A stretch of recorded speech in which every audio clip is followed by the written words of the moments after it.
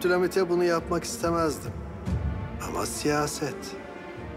O beni oyuna getirmek isterken biz onu oyuna getirdik.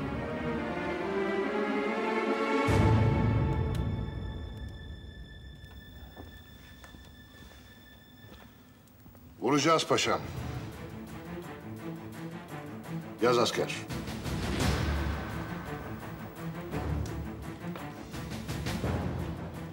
Rus bayraklı bir geminin devlet-i aliyenin karasularına izinsiz geldiği hünkârımıza bildirilmiştir. Geminin mahiyetini anlamak için alınan curnal neticesinde devletimize zarar vereceği anlaşılmış olup karasularımıza girdiğinde vurulması hünkârımızın emri ve iradesidir.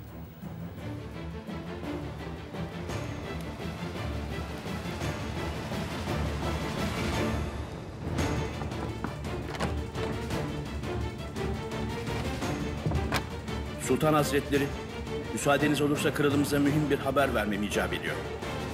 Buyurun.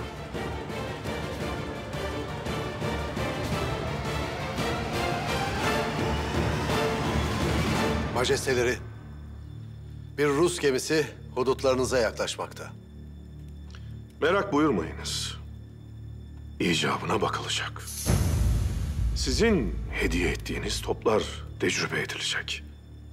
Ruslar sınır ihlal etmenin ne demek olduğunu anlayacaklar. Majesteleri, o geminin içinde Rusya'dan kaçan masum Yahudiler varmış.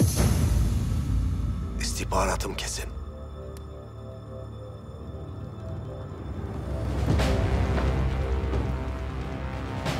Tahsin Paşa, emri iptal edin. Bombalama yapılmasın. Emredersiniz hünkârım. Umarım geç kalmamışızdır.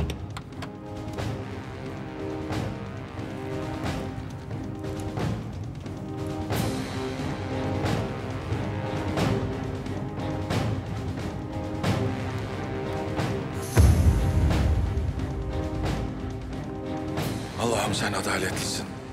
Adaletle muamele edenleri seversin. Mazlumların haklarına girip zalim olmaktan sana sığınırız. Hakkı tecelli ettir. Bizi zulmedenlerden eyleme. Eğer o gemi bombalanırsa bütün dünya ayağa kalkacak demektir. Yahudiler sizi katil olarak ilan edecekler. Sonra da Sonra da bizden istediklerini koparabileceklerini sanıyorlar. Tertip büyük majesteleri. Evvela sizin hediye ettiğiniz topları Sarıyer mevzilerine yerleştirdiğimiz için Rus sefir gelip endişelerini bildirdi. Sonra da hudut ikazlarımızı ciddiye almayan Rus gemisi karasularımıza girdi. o gemiyi vuracak toplar bizim hediyemiz üstelik. Öyle. Masum Yahudilerin kanına girmemizi istiyorlar. Sizin de adınızı karıştırarak bizi mahkum etmek istiyorlar. Suçları ve isyanları yüzünden cezalarını buldu aptallar. İğrenir olmuşlardı bütün yemeklerden. Ölümün kapılarına yaklaşmışlardı. O zaman sıkıntı içinde Rab'be yakardılar. Rab kurtardı onları dertlerinden. Sözünü gönderip iyileştirdi onları. Kurtardı ölüm çukurundan. Ben fidyeyi buldum derse onu ölüm çukuruna inmekten kurtar. Ben temiz vicdanımla, suçsuz ellerimle yaptım bunu.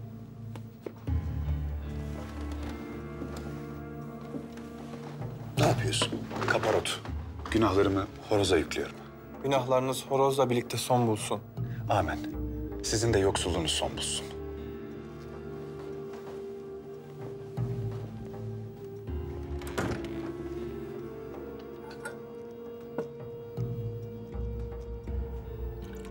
Dinini iyice unutmuşsun.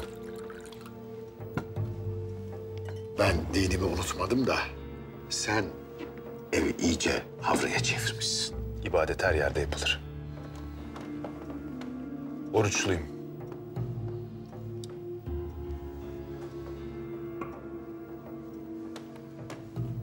Hangi günahın kefaretini ödedin?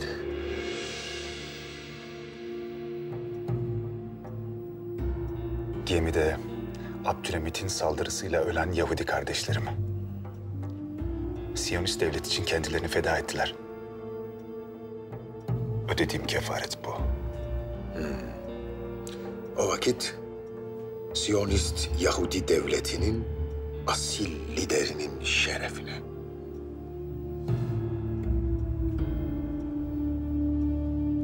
Bu çok iyi hesaplanmış bir tertip. Sizin hududunuzu tehdit edecek bir Rus gemisine verilecek karşılık bellidir.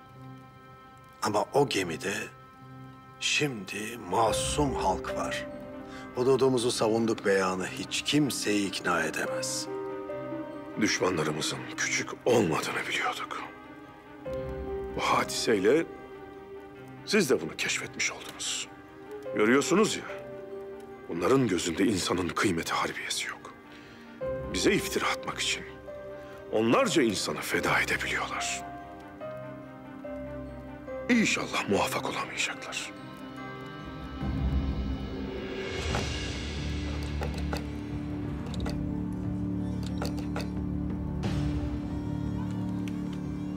Emir verildi mi? Verildi paşam. Tasdik istiyorlar paşam. Tasdik ediyorum. Dur evladım. Şükürler olsun. Osman Paşam, hünkârımızın iradesidir. Emri iptal edin. Neden vurmuyoruz paşam? Rusya'da zulümden kaçan Yahudilerin gemide olduğu haberi geldi.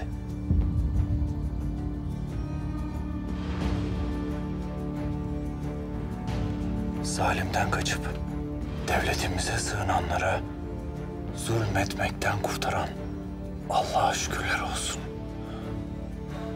Hamdolsun. Şükürler olsun. Emri durdurun.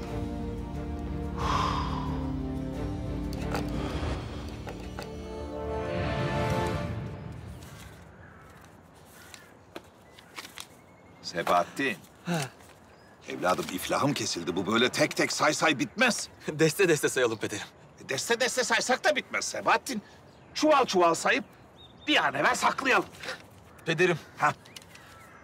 Bu para milletimizin kurtuluşu olabilir.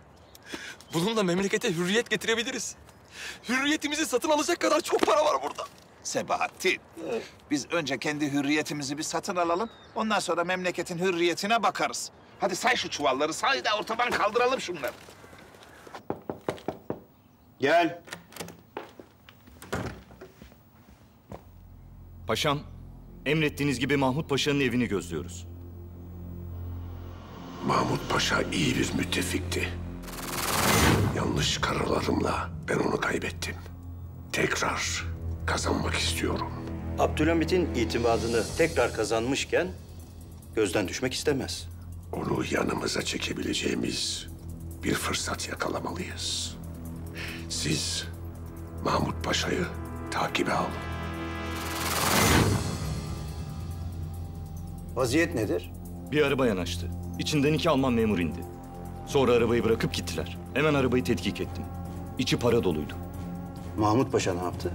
Paraları aldı paşam. İhanet ruhuna işlemiş. Şimdi devletin içindeki bu uru söküp atmak için hünkârımızın huzurunda şahitlik eder misin? Ederim paşam. Gözlerimle gördüm.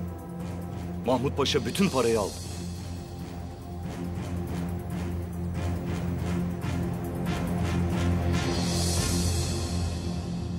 Sultan Abdülhamit Han, biliyorum ki siz vicdanlı bir adamsınız. Osmanlı milleti size sahip olduğu için çok şanslı. Siz sadece milletinizin menfaatini düşünüyorsunuz. Günün birinde siyasi meselelerden karşı karşıya gelsek bile sizin gayretinizin memleket menfaatlerini korumak için olduğunu bileceğim.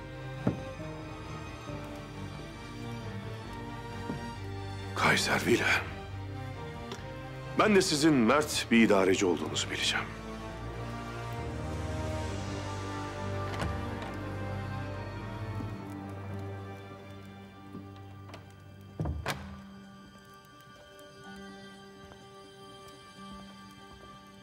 Ekselansları.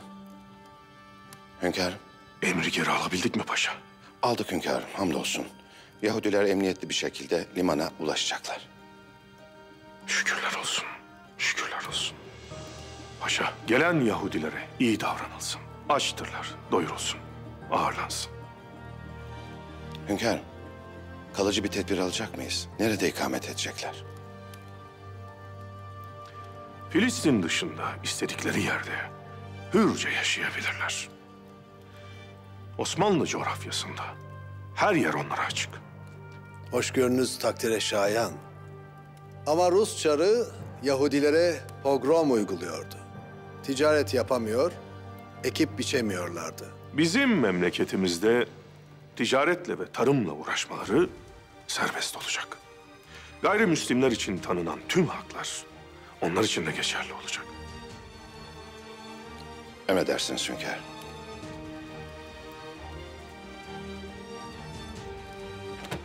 Şimdi eminim. Neyden? Haberler gelirdi. Sultan Abdülhamit Ermenileri katlediyor diye. Bunların yalan olduğuna şimdi eminim.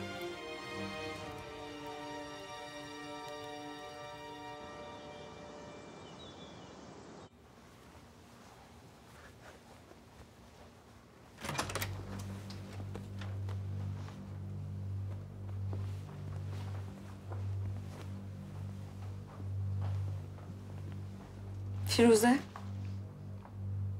Eşyalarımı topladım. Odayı senin için tekrardan hazırlıyorlar. Bitmek üzere. Boşuna zahmet etme. Çünkü odada kalmayacağım. Ama burası sizin odanızdı.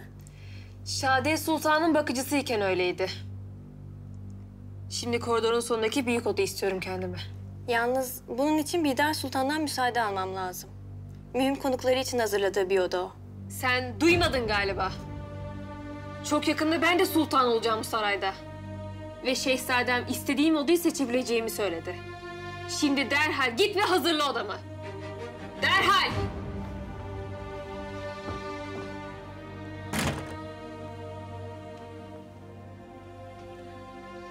Affet beni Firuze. Bidar Sultan'ın dediklerini yapmaya mecbur kaldım. Ama bundan sonra senin emrindeyim. Hazır eşyalarını toplamışken hemen çık git bu saraydan. Yüzünü görmek istemiyorum seni. Çık! Yapma Firuze. Ne olur. Ne dersen, ne emredersen yaparım. Çık git dedim sana. Defol! Çık!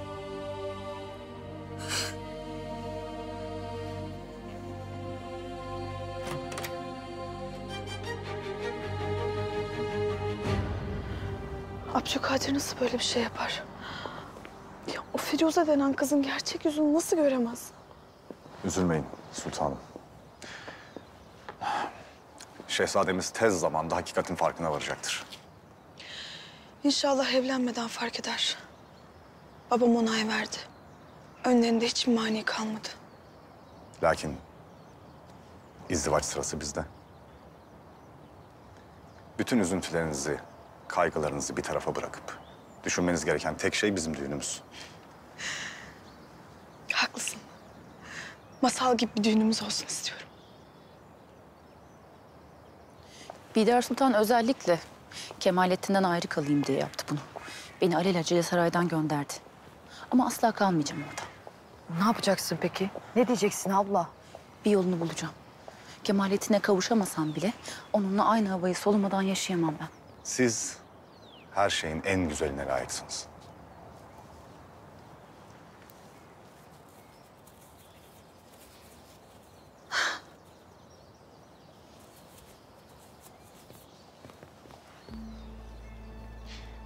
Bunu sizin için özel olarak yaptırdım.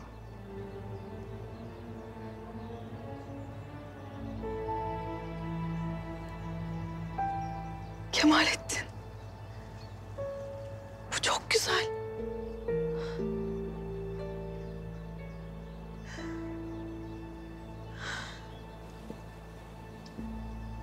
Hatice? Fehmi?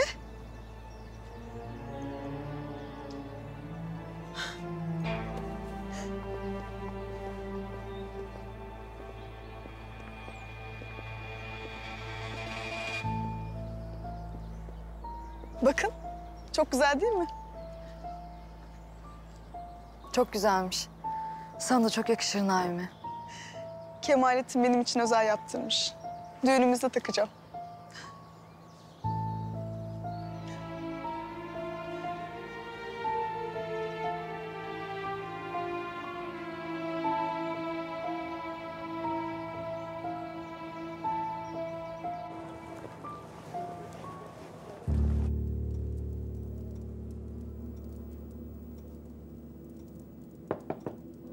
Gel.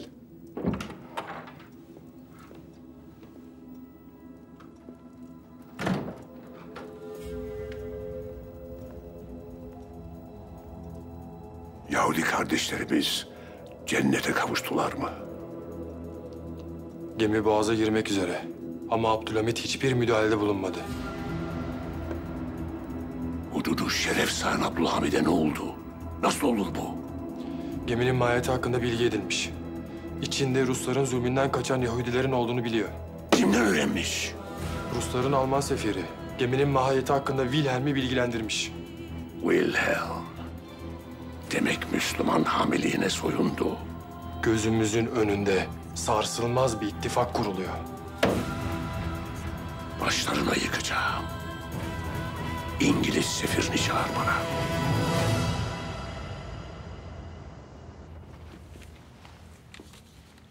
Tercüme edilecek kitapların yeri burası değil mi? Evet oraya koyabilirsin.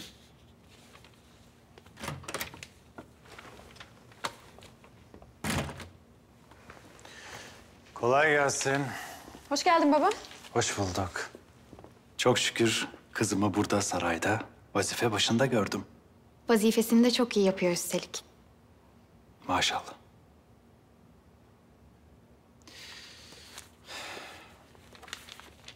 Bunlar hünkârımızın Alman İmparator Wilhelm'le yaptığı anlaşmanın muhafaza edilecek şartları.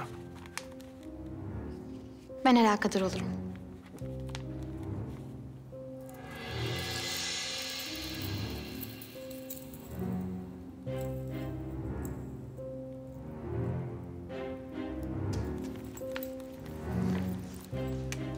Kızım, akşam direkler arasına götüreyim istersen seni. Yeni temsiller gelmiş. Olur, çok iyi olur babacığım.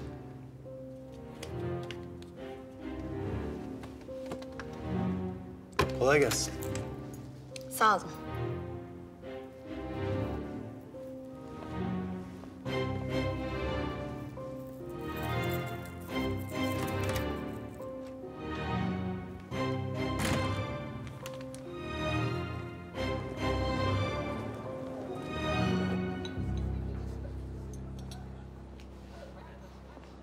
Sana müthiş bir haberim var.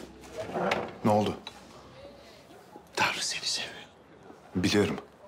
Onun vaat ettiği topraklar için kimse bir şey yapmıyorken ben her şeyimle mücadele ediyorum. Dostum, senin horoz boşa gitti. Ne demek istiyorsun? Yani işlemediğin bir günahın kefaretini ödedin. Mazlumların sultanı Abdülhamid'an memleketine sığınan Yahudilere kucak açıyor. Gemi limana yanaştı mı? Evet.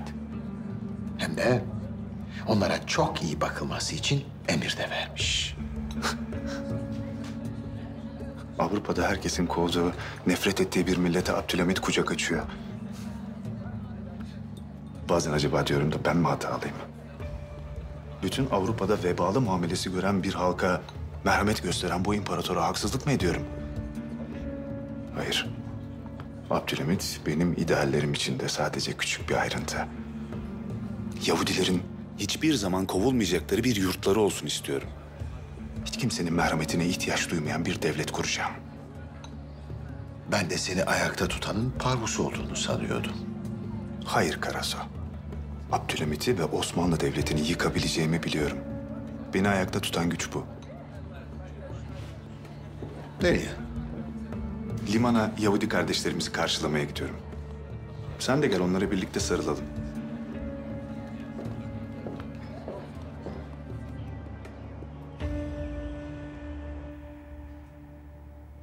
Sultanım. Sultanım. Ne oldu kızım? Firuze eski odasında kalmak istemiyormuş. Hususi odayı istiyor.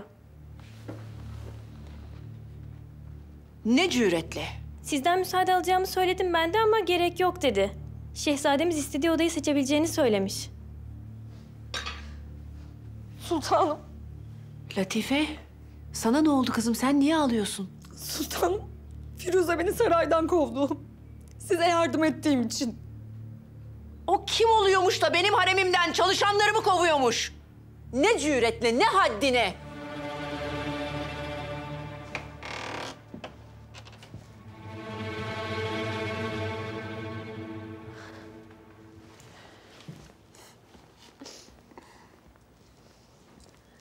Beğendin mi?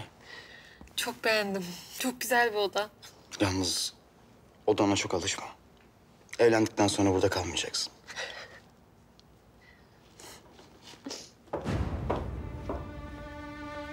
Senin ne işin var bu odada? Benim kararlarımı nasıl çiğneyebilirsin? Firuze'ye istediği odayı seçebileceğini ben söyledim validem. Bir şehzade olarak buna yetkim var öyle değil mi? Haremle alakalı bütün kararlar benim yetkim altındadır Abdülkadir. Sen bunu gayet iyi biliyorsun. Üstelik bu kendini bilmez. Daha da ileriye gitmiş ve benim haremimden kafamı kovmuş. Latife'yi kovdum şehzadem. Mektubumu size vermeyen, beni bir daha görmek istemediğinizi söyleyen kız o. Size de bana da yalan söyledi. Çünkü benim sözümü dinledi. Sana değil bana itaat ederek doğru olanı yaptı. Ve sadakatinden dolayı haremde kalmaya devam edecek. Buradan gitmesi gereken o değil.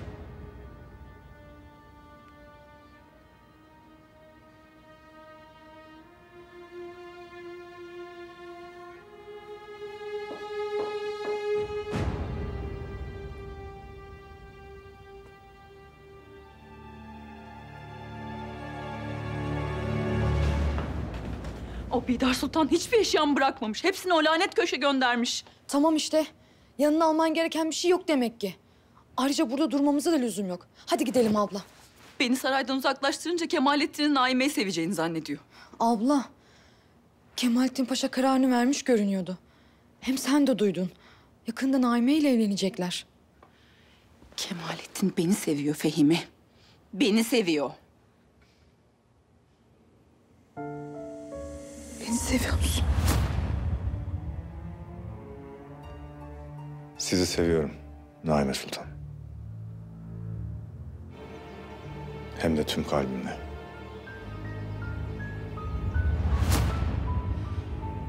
Sadece beni değil. Kendini de kandırmaya çalışıyor.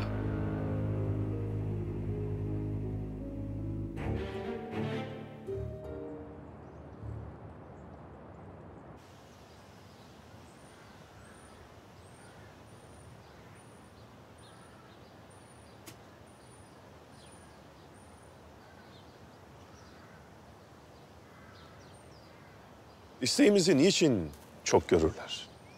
Ne istersiniz? Sıhhatli çocuklar isterim.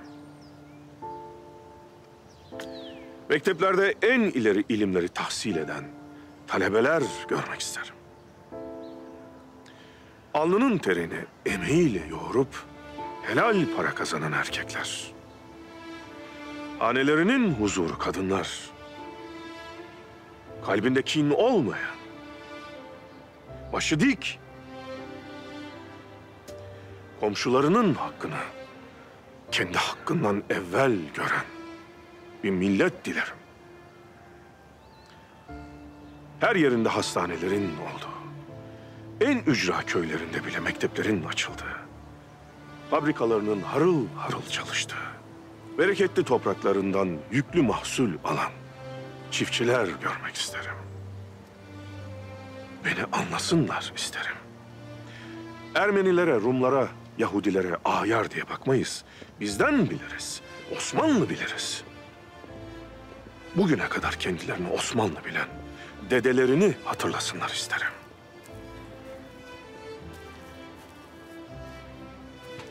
Gazetelerinde yalanın, iftiranın olmadığı bir matbuat, hülasası mesut devlet, mesut millet isterim. Çok mu? Sömürü nizamı değişsin isterim. Yıkılsın isterim zalimin düzeni. Gözyaşınla ve kandan beslenenler boğulsun isterim. Nifak bitsin isterim. Çok mu?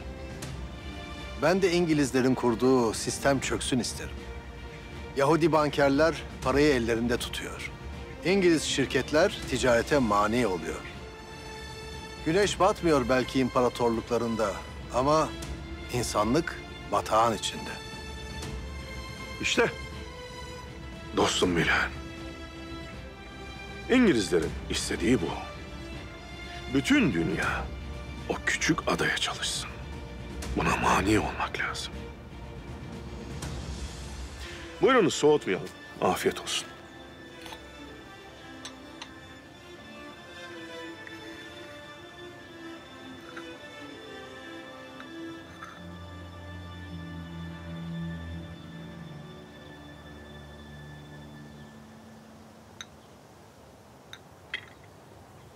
Bu ancak bizim güçlü ittifakımızla mümkün. En büyük hayalim güçlü bir donanma kurmak. İngilizlerin düzenini bitirmek için denizlere hakim olmak şart. Bunun içinde mani olacak iki devlet var. Osmanlı ve Alman imparatorlukları. Almanların güneşe çıkmaları lazım Sultan Hazretleri. Weltpolitik bunun için. İngilizler kendilerini dünyanın jandarması sanıyorlar. Peki sizin politikanız olan Welt politiğin bundan farkı nedir? İngilizler sömürüyor. Biz ise doğuda ortaklık kurmak istediğimiz devletleri sömürmeyeceğiz. Karşılıklı kazanç ilişkimiz olacak. Biz donanma kuralım, denizlerde güçlü olalım. Siz ise kara birliklerinizi güçlendirin. İşte o zaman bileğimiz bükülmez. Sizinle böyle açıktan bir ittifak kurmak düşmanı daha şiddetle üzerimize çekecektir.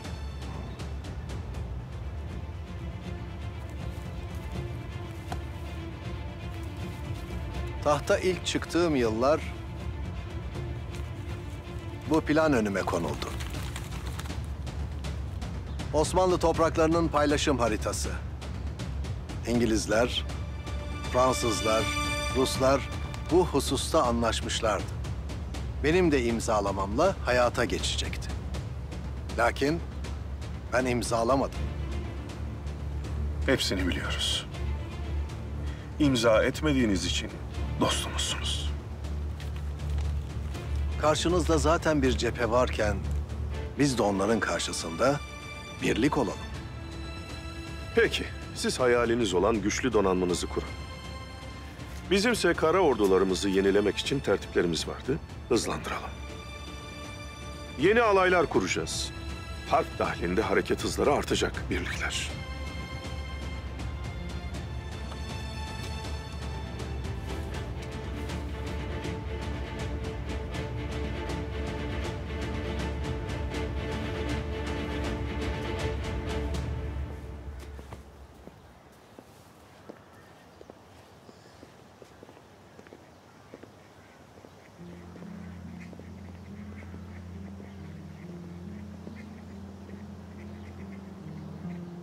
Almanlarla ittifaklığımızı açıklayacak mıyız hünkâr?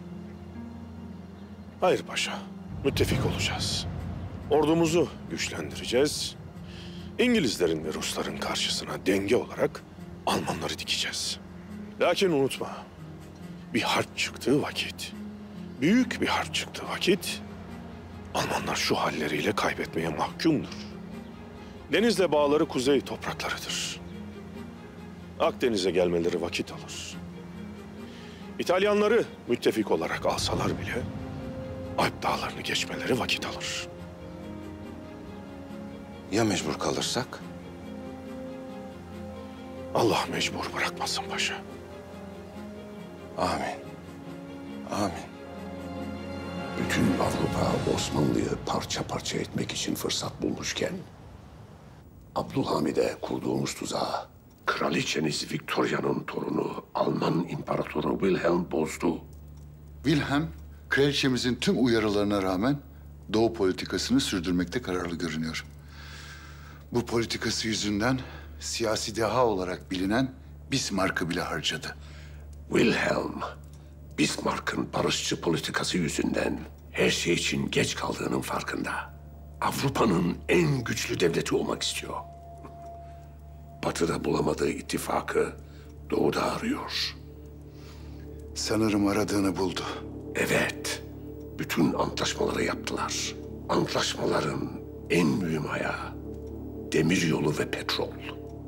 Bunlara sahip olan yeni dünya nizamının da başına geçer. Mani olmak için ne yapacağız? Wilhelm'in sömürge düzeninde kendine yol açabilmesi için güçlü bir donanmaya ihtiyacı var. Donanma için büyük bir mali yükün altına gireceğini duydum. Wilhelm'in bütün rüyası bu. Ancak güçlü bir donanmayla sömürge devleti kuracağını biliyor. İngiliz şirketlerle antlaşma yaptılar. Yanlış biliyorsunuz. Evet. İngiliz şirketleriyle gemi anlaşması yaptı. İngilizler Wilhelm için gemi motoru üretecekler. Ama bunlar seyahat gemisi olacak. İşte kraliçenin bilmediği de bu. Wilhelm o motorları savaş gemilerinde kullanacak.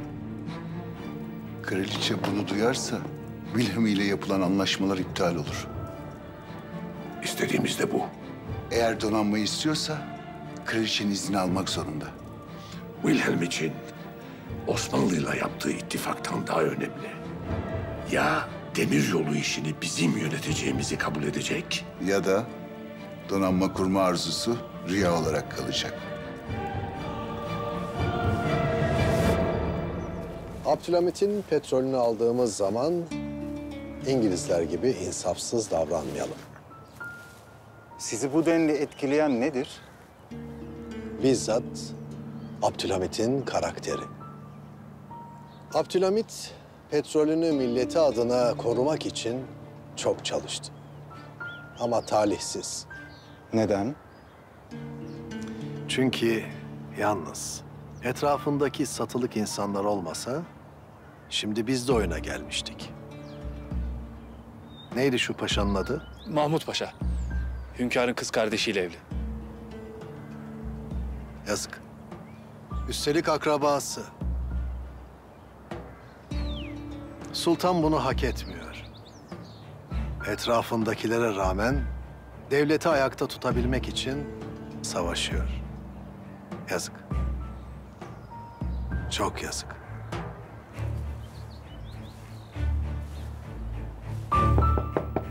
Gir.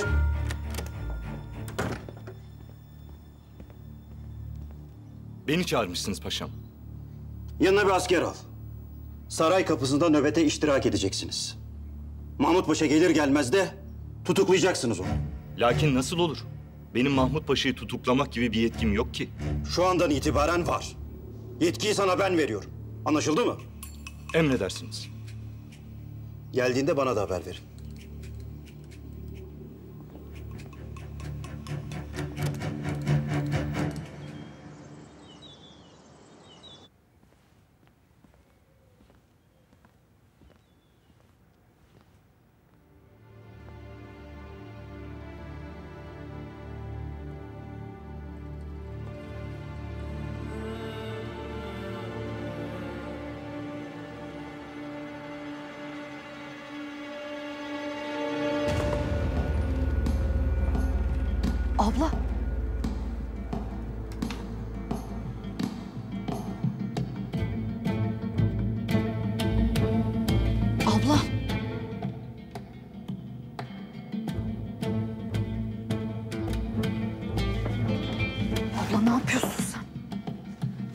Broşu biri görecek gidelim hemen.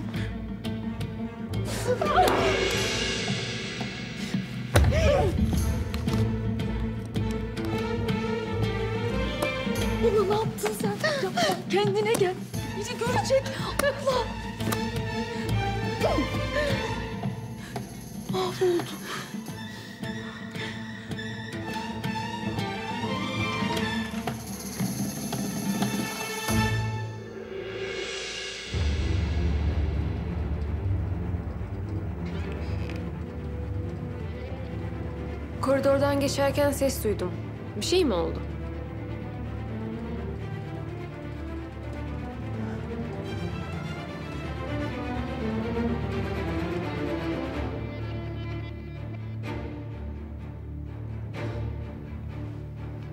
Düşmüş. Ee, yani şey kırılmış.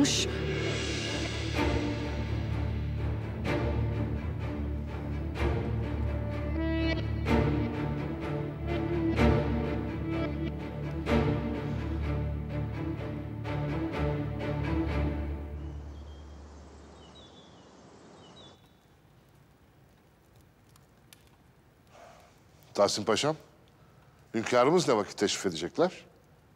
Hünkârımız divan için hazır da divanımız hünkâr için hazır değil. Eksik olan nedir? Hüseyin ve Mahmut Paşalar. Divana geç kalmak için ne sebepler olabilir ki? Teşrif ettiklerinde öğreneceğiz.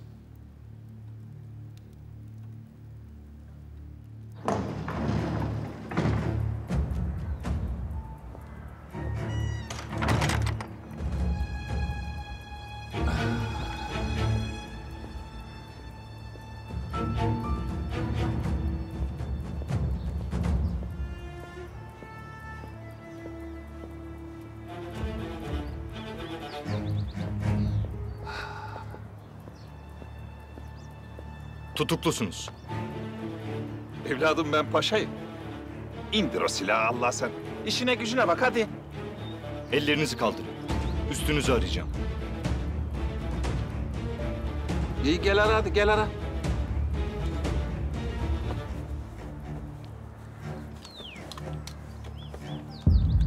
Kalk bakalım kalk.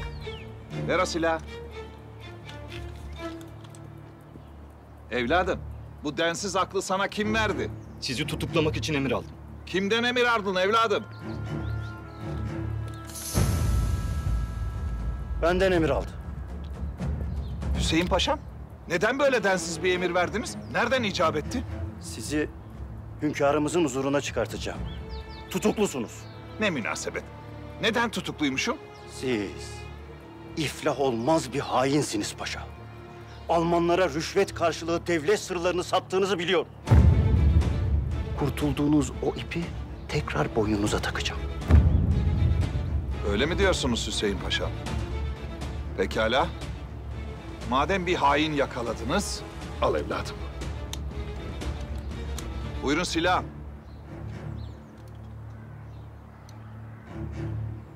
O halde benim gibi bir haini hünkârımızın huzuruna çıkarınız.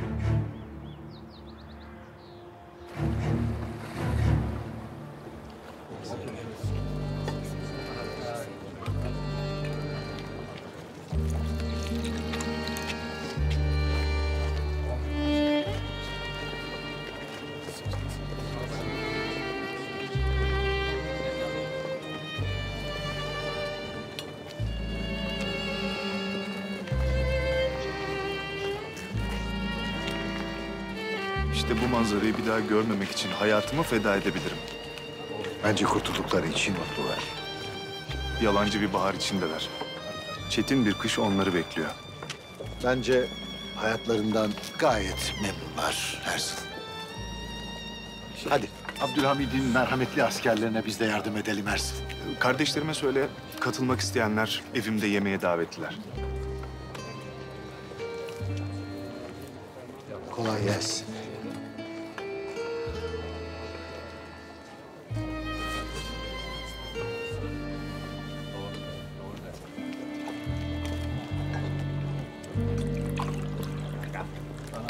İçin kardeşim. Buyurun. Bay Herzl, Evet, sizin için geldim. Sizi yakında devletinize kavuşturacağım. canımızdan emin olduğumuz yer bize yeter Bay Herzl. Bizim canımız sadece kendi devletimizi kurduğumuz zaman emniyette olacak. Abdülhamit'in de diğer hükümdarlardan bir farkı yok. O da bizim ölmemizi isteyen bir zalim. Bay Herzl, eğer Sultan Abdülhamit bizi kabul etmeseydi bizi denize atacaklardı. Biz buraya onun merhametine inanarak geldik. Burada canımız da malımız da emniyette olacak kafirlerin elinden için suyunuzu Herzl, Herzl. Kardeşlerimiz senin evinde misafir olmak isterler. Buyursunlar.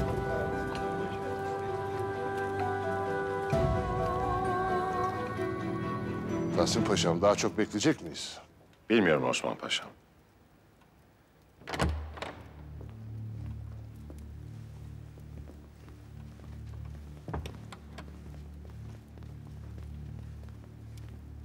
Paşalar bu hal ne? Tahsin Paşa. Bu Hüseyin Paşa. Gene deli saçması bir takım işler çeviriyor. Deli saçmasıymış. Mahmut Paşa'mız duramadı. Nefsine yine yenik düştü ve devletimize ihanet etti. Şahidim buradadır. Evi aransın. Almanlardan sırlarımızı satmak karşılığı yüklü miktarda rüşvet almıştır. Kimdir benim divanımda bağıran?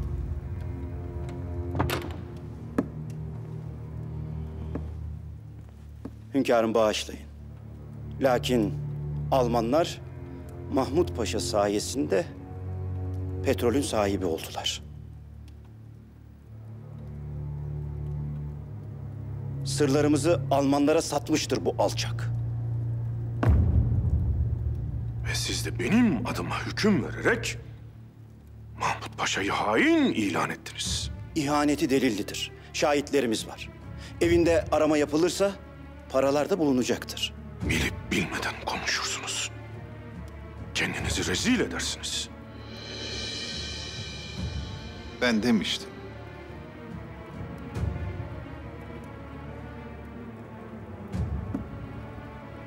Bizim her şeyden haberimiz var. Mahmut Paşa ihanet etmedi. Birlikte bir tertip düzenledik. Almanlar şüphelenmişlerdi. Anlaşmayı imzalamaya yanaşmıyorlardı. Mahmut Paşa onlara ihtiyacı olmayan bilgiler verdi. Yani hünkârımız sayesinde cambaza bak cambaza dedik. Wilhelm bizi kandırdığını, petrolümüzü aldığını sanıyor. Petrol bizimdir. Bir anlaşmanın imzalandığı doğrudur. Lakin bu anlaşmada kazanan biziz. Peki Hüseyin Paşam, siz benim evimi niçin gözetlediğinizi nasıl izah edeceksiniz?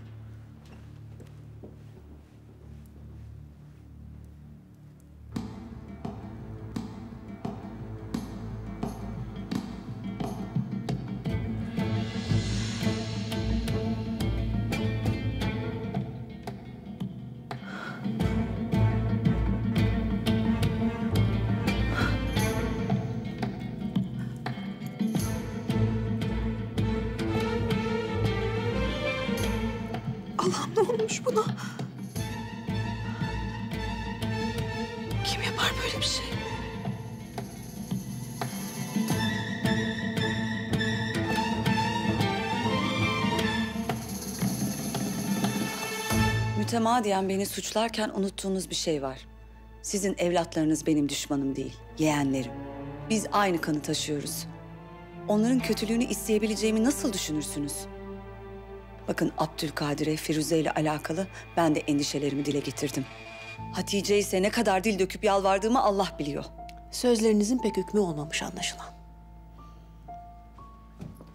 Hala!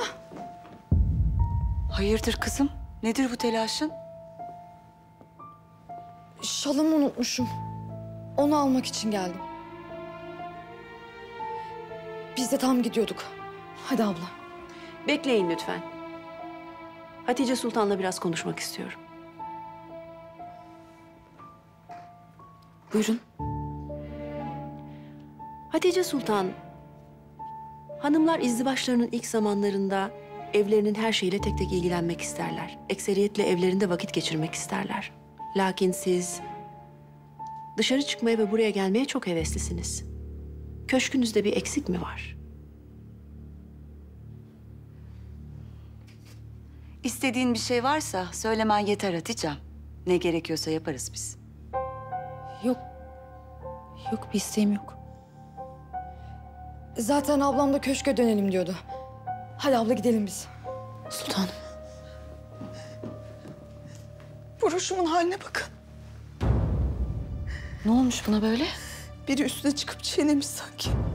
İncileri her yere saçılmıştı. Kim neden böyle bir şey yapsın kızım? Ben biliyorum kimin yaptı. Odama girip sinsice broşumu kıran kişi.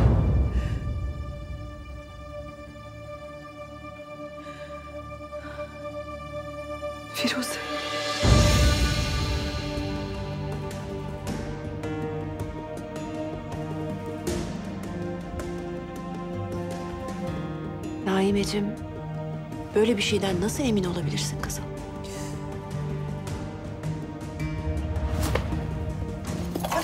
O bunları seviyor. Bunları seviyor anladın mı? Halamın evinde. Onun elbisesini parçaladım. Ziynet eşyalarını yere attım diye benden intikam alıyor aklınca.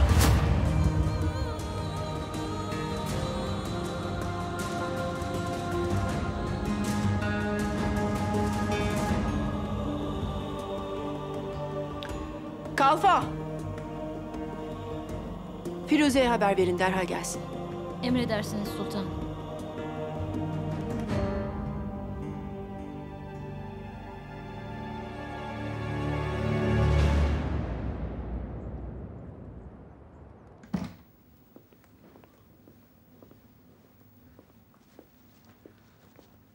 İngiliz sefiri geldi.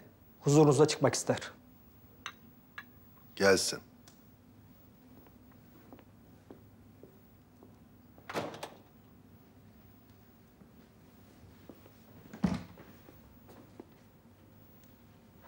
Majesteleri, kabul ettiğiniz için müteşekkirim. Dinliyorum. Neden geldiniz? Kraliçemizden size haber getirdim. Anlat. Kurmak istediğiniz donanma için İngiliz şirketleriyle anlaşma yapmışsınız. Kraliçe şirketlerinin Almanlarla iş yapmasını yasakladı. Artık sizin üretilecek motorları nerede kullanacağınızı biliyor. Kraliçe beni hala sarayında gezen bir çocuk zannediyor. Ona söyleyin, muhatap olduğu kişi Alman İmparatoru Wilhelm'dir. Majesteleri, beni mazur görün. Kraliçe size bir teklifte bulunuyor. Teklifi nedir? Donanma için bizimle çalışmak istiyorsanız, Abdülhamit'ten aldığınız demiryolu ve petrol imtiyazını kraliçemizin istediği bir şirketle paylaşmalısınız. Aksi takdirde İngilizlerle yaptığınız anlaşmalar iptal edilecek. Kraliçe bilmelidir ki sarayında başını okşayıp sevdiği torunu Wilhelm Alman halkının menfaatleri için hareket edecektir.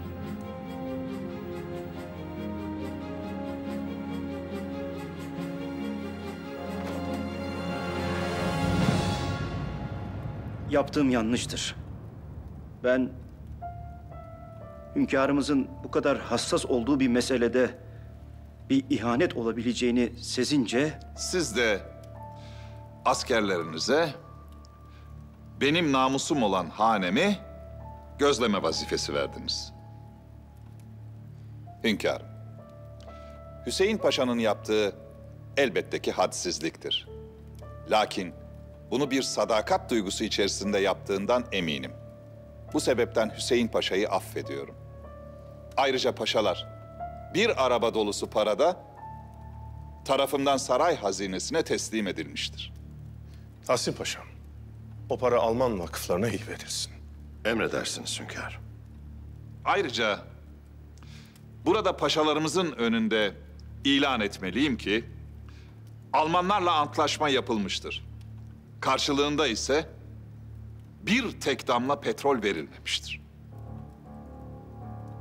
Lakin neticede anlaşmada Almanlara demiryolunu bitirdikleri takdirde petrol imtiyazını verdik. Hayır. Hünkârım, anlaşmada açık hüküm var. Şart koyduk paşa. Zaman şartı. Eğer bizim dediğimiz vakitte bitirebilirlerse. Ki Almanlar bu süre zarfında kesinlikle bitiremeyeceklerdir. Yani bizler Hem demir yolu sahibi olduk, hem de karşılığında petrol vermemiş olduk. E yani bu büyük bir başarı paşalar. Mahmut Paşa doğru söyler.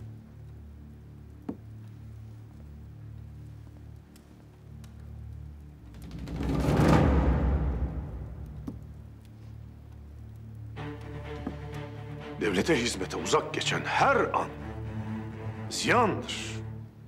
Devlet rüyası görmediğimiz her uyku haramdır. Devletin istikbali dışında ettiğimiz her kelam yalandır paşalar. Biz bunun için yaşarız. Hakkı yükseltmek, hakikate vurulan zincirleri kırmak ve İslam'ı hakim kılmak için. Bunun için de güçlü millet, güçlü ordudan başka yol yoktur. Pierre Loti ne der bilir misiniz paşalar?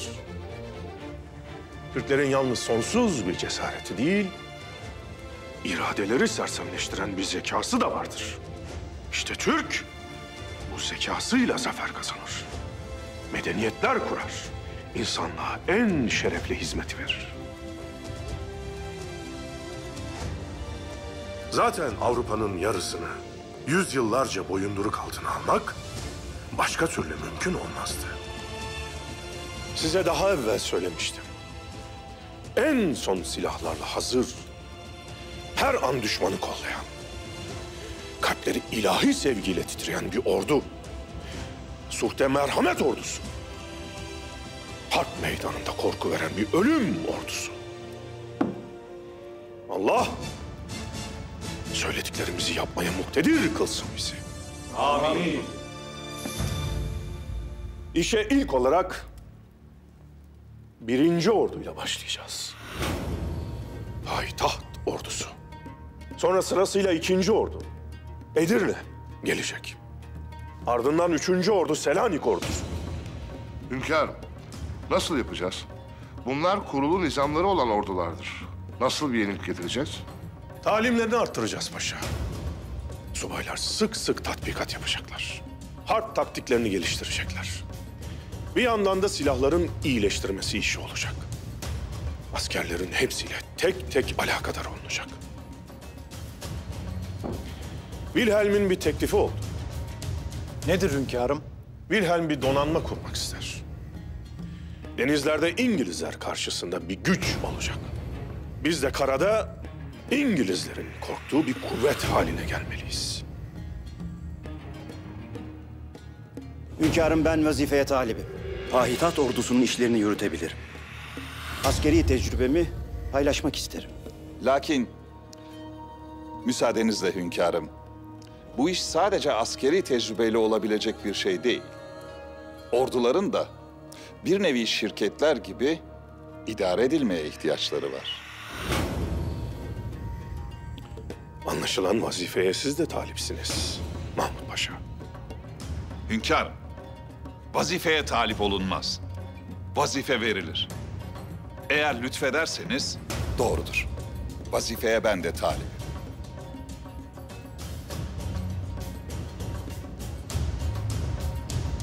Peki. Hünkârım, bir orduyu nizama sokmak için askeri tecrübe şarttır. Hüseyin Paşa'm, madem Mahmut Paşa'yı bu kadar yakından takip edersiniz, evinin önüne adam dikersiniz, o halde birlikte çalışınız. Gözleriniz birbirinizin üzerinde olsun.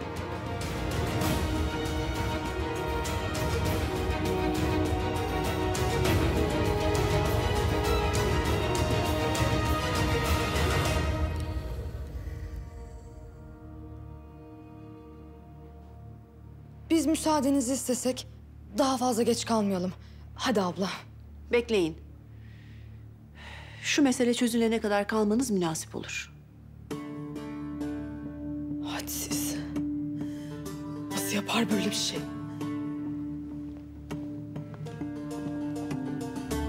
Sen nasıl yaparsın böyle bir şey? Naime kızım. Nasıl kırarsın benim broşumu?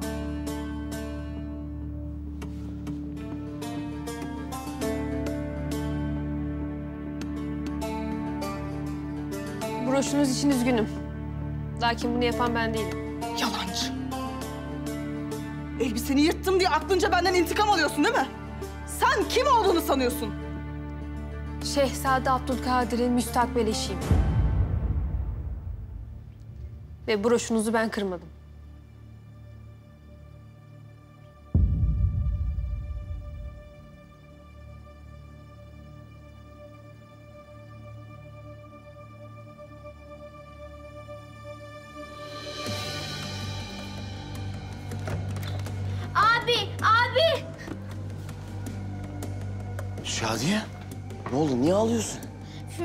Ablama bağırıyorlar.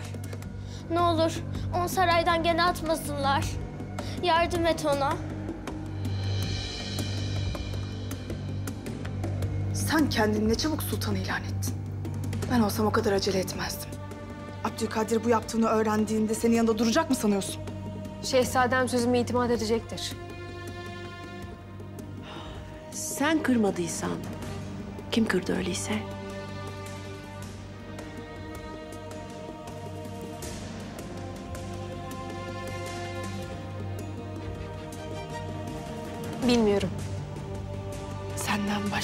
Yapacak birisi yok bu sarayda. Sana bunu ödeteceğim. O çıktığın çukura geri döneceksin. Belki de o kırmamıştır. Bana Firuze'yi mi savunuyorsun Fehmi? Sana inanamıyorum. Sen onun ne düzenbaz birisi olduğunu bilmiyor musun? Naime, kızım sakin ol biraz. Sen sinsi bir yılan gibi girdin bu saraya. Artık o yılanın başını ezme vakti geldi. Bana hiçbir şey yapamazsınız. Şehzadem buna izin vermez. Sen kim olduğunu sanıyorsun? Hadsiz! Naime ne yapıyorsun? Firuze benim eşim olacak. Ona nasıl el kaldırırsın? Asıl sen böyle birini eşim diye nasıl getirirsin karşımıza? Bak, bak broşumun haline bak. Yemin ederim ben yapmadım. Duydun işte. Yapmadım diyor.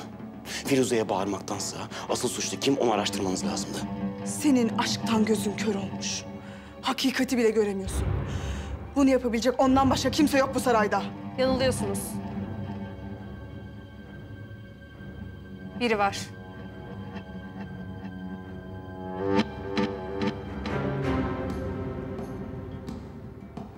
Şimdi hatırladım.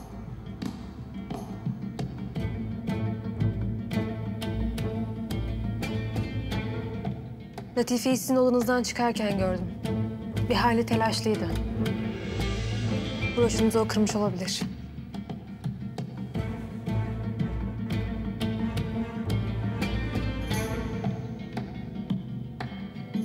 Latife mi? Latife böyle bir şey niçin yapsın ki? Üzerime suç atmak için elbette. Yeter!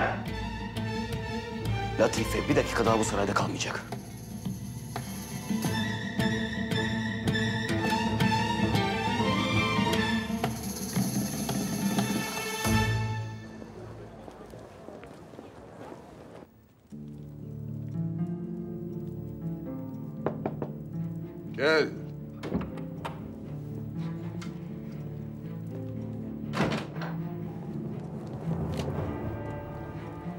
Size mühim havadislerim var. Mahmut Paşa, Almanları oyuna getirmiş. Nasıl? Almanların verdiği rüşveti almış. Ama söylediği bütün bilgiler yalan. Gerçek bilgiler ise anlaşmada mevcut. Anlaşmayı elimize geçirmemiz lazım. Evet. Ama ben anlaşmaya erişemem. Ben erişecek birini biliyorum.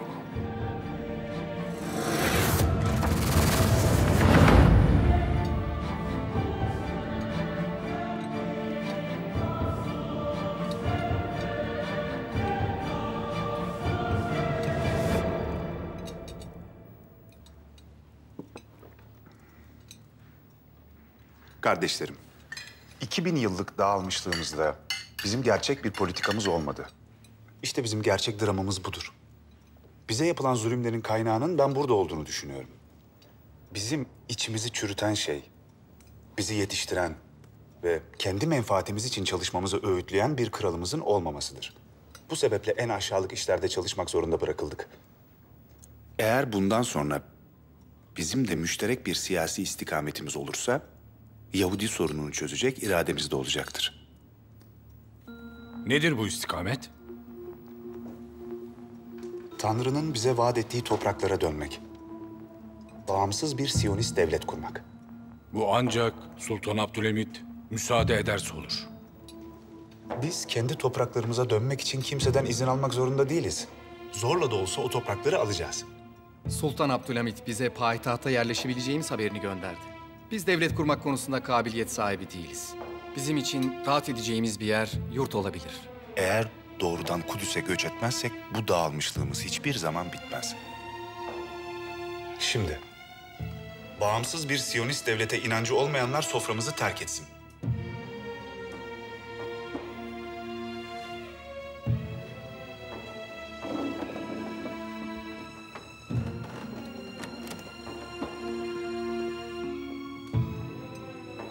Bugün istediğimiz topraklar yüzyıllarca önce babalarımıza aitti. Şimdi bir rüya gibi görünüyor olabilir. Ama bu rüya bizimle birlikte yüz binlerce kalpte yaşamaktadır. Ve zulüm gören halkımızın tek tesellisi de budur.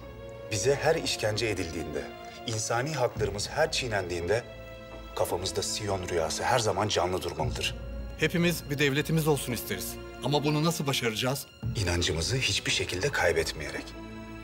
Somut adımlar atıyoruz. Wilhelm payitahtta.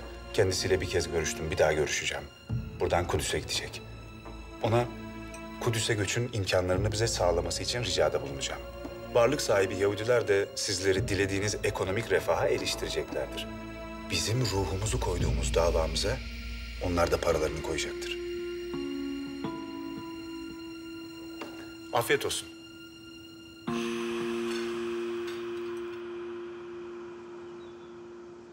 Majesteleri söylemek istedikleriniz varmış. Buyurun dinliyorum. Mahkum olmak mı, mecbur olmak mı? Biz Allah'ımıza mahkumuz. Ve sadece ona mecburuz. Kaiser Wilhelm. Ama biz öyle değiliz. Bakın, benim sol kolum sakattır. Biraz kısa ve tam olarak bazı hareketleri yapamamaktayım. Çocukluktan beri. Bunu biliyoruz. Şifası için uğraştığınızı da biliyoruz. Çocukluk ve gençlik yıllarımda kabullenemiyordum. Buna mecbur muyum diyordum. Sonra yapacak hiçbir şey olmadığını anlayınca mahkum olduğumu anladım. Artık mesele etmiyorum. Sıkıntınız nedir? Anlatınız. İmparator Hazretleri, bu sefer de mahkum oluyorum. Sizden aldığımız demir yolu ve petrol imtiyazını İngilizlerle paylaşmak zorundayım.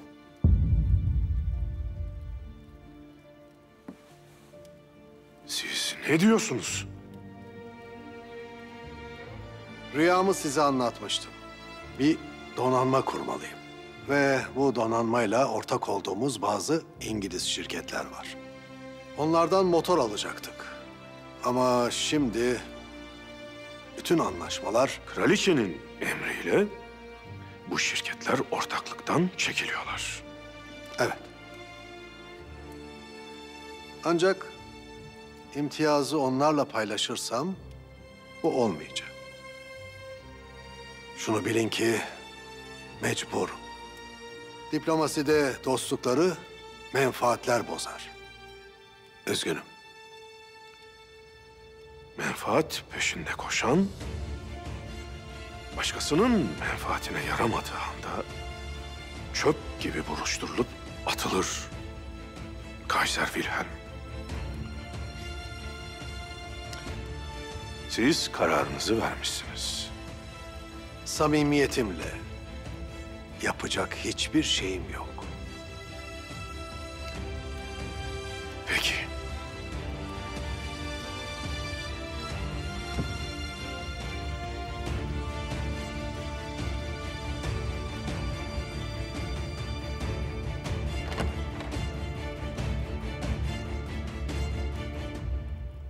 Abdülhamit Yahudilerin teveccühünü kazanıyor. Rusların devletlerinden kovduğu Yahudilere kucak açtı. Bugün limana onları karşılamaya gittim. Ben kendi hayatımı onlar için feda etmeye hazırken bana ahlak dersi vermeye kalktılar. Onlar dinlerinin kafiri. Senin inançlı Yahudilere ihtiyacın var. Bay Parvus, Abdülhamit Almanlarla bir ittifak içine girdi. Daha da güçlendi. Ne yapacağımı bilemiyorum. Kurdukları ittifakın arasına gireceğiz. Bütün anlaşmaları yaptıklarını söylediniz. Wilhelm bütün Doğu siyasetini bu antlaşmaların üzerine kurdu. Kazanabileceğimiz bir şey yok. Var. Şu senin paşa kızı. Dilşat. Onu bu zamana kadar avucunun içine aldığını düşünüyorum. Evet. Söylediğim bir şeyi yapacaktır. Ondan bir vazife iste.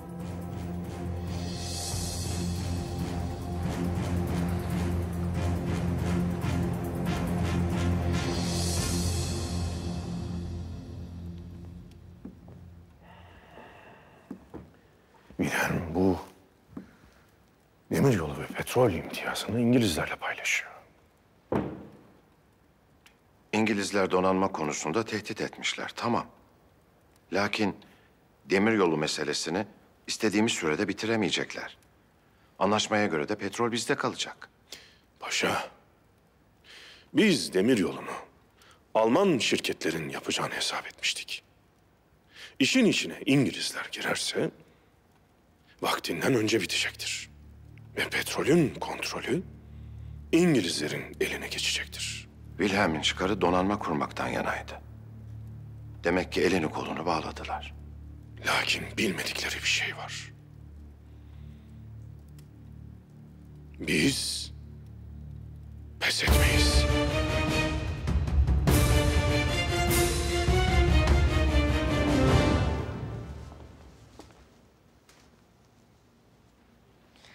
Üzülme artık abla. Hem Kemalettin Paşa sana yeni bir broş alır. Değil mi Der Sultan? Elbette ki alır. Zaten ben Latife Kalfa'yı hiç sevmemiştim. Firuze ablam kadar iyi biri değildi o.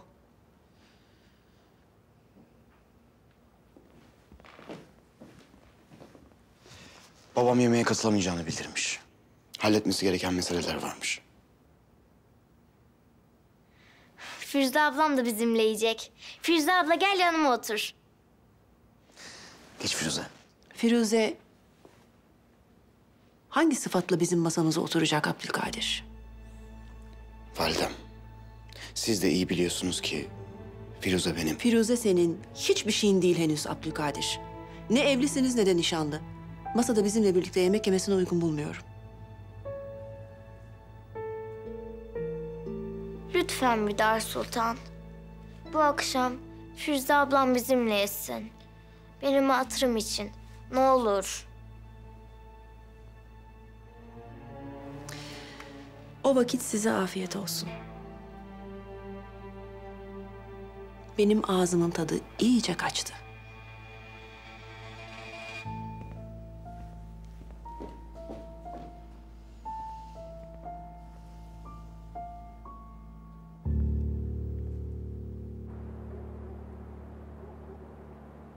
Seniham. Ne duydum? Ne? Bu Firuze saraya gitmiş. Gör bak, yakında Abdülkadir'le bunlar evlenirler. O iş biraz zor bence Mahmut. Bidar Sultan bu düğün olmasın diye elinden ne geliyorsa yapar. Bence gör bak. Çok yakında Bidar Sultan'la Firuze arasında çetin bir harp olur. Bence de öyle olacak Mahmut. İşte o zaman göreceğiz bakalım Bidar Sultan mı kazanacak Firuze mi? Bence Firuze kazanacak. Ya. Neden dersen, bu Bidar Sultan'ın cibiliyeti kaybetmeye mahkum. Bu abisi Hüseyin Paşa da öyle.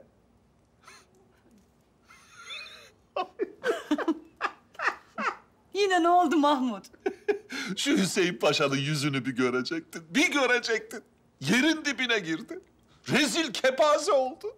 Hani Bidar Sultan o kadar itimat ediyordu abisine ne oldu? Bakalım yaptığı hataları görünce ne diyecek? Aklı sıra. Beni rüsva edip hünkârımızın gözüne girecekti. Ya Seniham, bu Bidar Sultan'da da, Hüseyin Paşa'da da yemin ederim feraset yok. Yani bu itimat edilmez, bu dirayetsiz adama itibar ediyorlar da benim gibi zeki, becerikli, güvenilir bir adama laf ediyor. Vallahi bunları anlamış değil. Ama ne oldu? Ne oldu? Hünkârımız bu Hüseyin Paşa'ya bir çarptı. Mahmut. Bak gülme başına gelir ha. Gelir.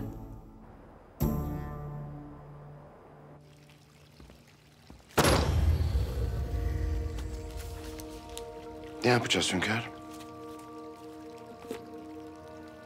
Wilhelm'in gücünü kullanarak İngilizleri tarihlerindeki en maliyetli harbe sokacağız. İngiliz ekonomisi altın üzerinde ayakta durur.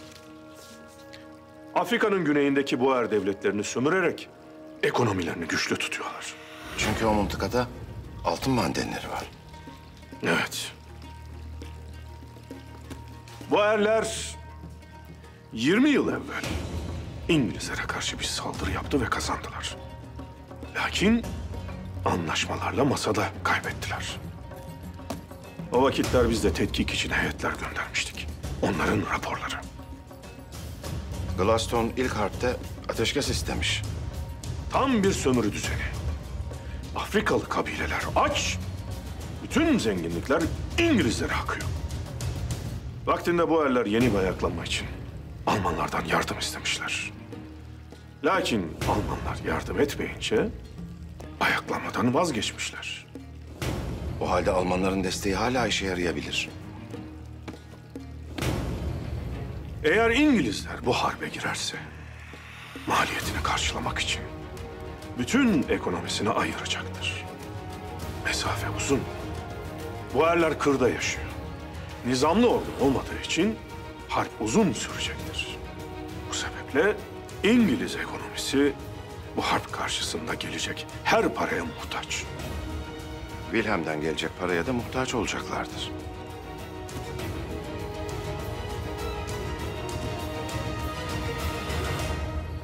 Mesele halloldu. Kabahatlisi bulundu. Sen niye hala keder içindesin? Naime Sultan da, Bidar Sultan da benden nefret ediyor. Görmediniz mi? Valideniz ben sofradayım diye oturmak bile istemedi. Biraz vakit tanı onlara. Zamanla hata ettiklerini anlayacaklar. Onların nazarında sizin kalbinizi çaldığım için bir suçluyum. Bu suçumdan dolayı da bana acımayacaklar. En ufak bir hatamla saraydan göndermek için fırsat kollayacaklar. Bunu anladım bugün. Ne yaparlarsa yapsınlar. Bu izdivaca mani olamayacaklar. Benim hakkımda kötü şeyler söylediklerinde, suçladıklarında Ben sadece senin söylediklerine inanacağım. Söz veriyorum.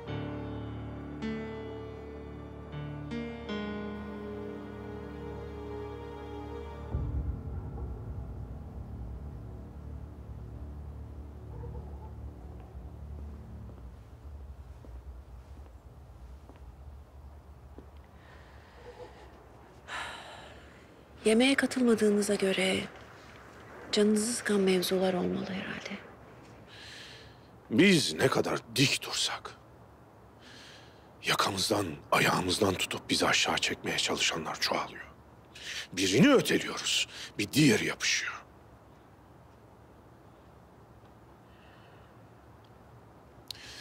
Abdülkadir'in izdivacıyla alakalı. Bana kırgınsınız, değil mi? Hünkârım, bunca meşguliyetinizin arasında benim size kırgın olmaya hakkım var mı? Lakin yine de merak ediyorum. Bu izdivacı nasıl kabul ettiniz? Sizin buna razı olmadığınız aşikar.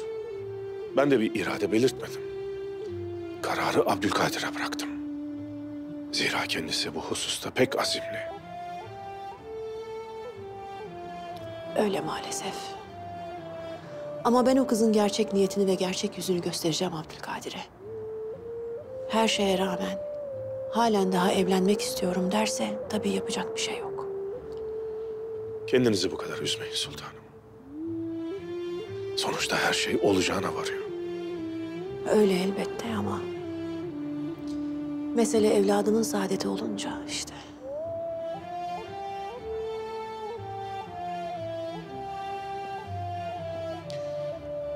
Benim ve evlatlarınızın saadeti. Bizi her daim kendinizden önde tuttunuz.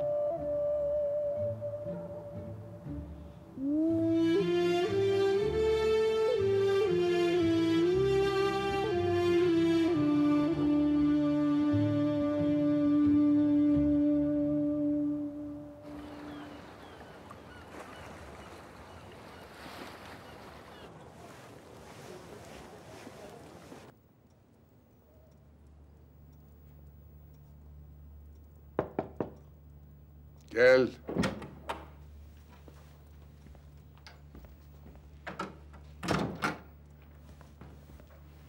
Wilhelm'e kraliçemizin arzusunu ilettim.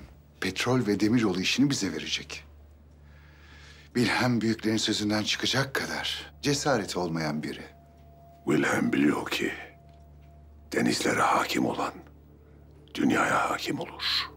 Wilhelm donanmadan vazgeçemezdi. İyi bir anlaşma oldu. Küçük kayıplar yaşansa da Wilhelm de biz de istediğimizi aldık.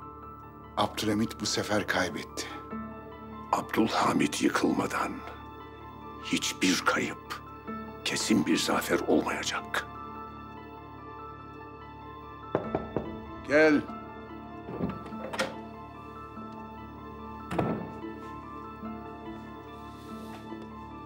Hoş geldiniz. Ama sizinle bir görüşmemiz olduğunu hatırlamıyorum. Ben Bay Parhus'u ziyarete geldim. Yoksa bir Osmanlı tebaasının İngiliz sefaretinde işine. Dostumuz ziyarete gelmiş. Belli ki konuşmak istedikleri var. Sen çıkabilirsin.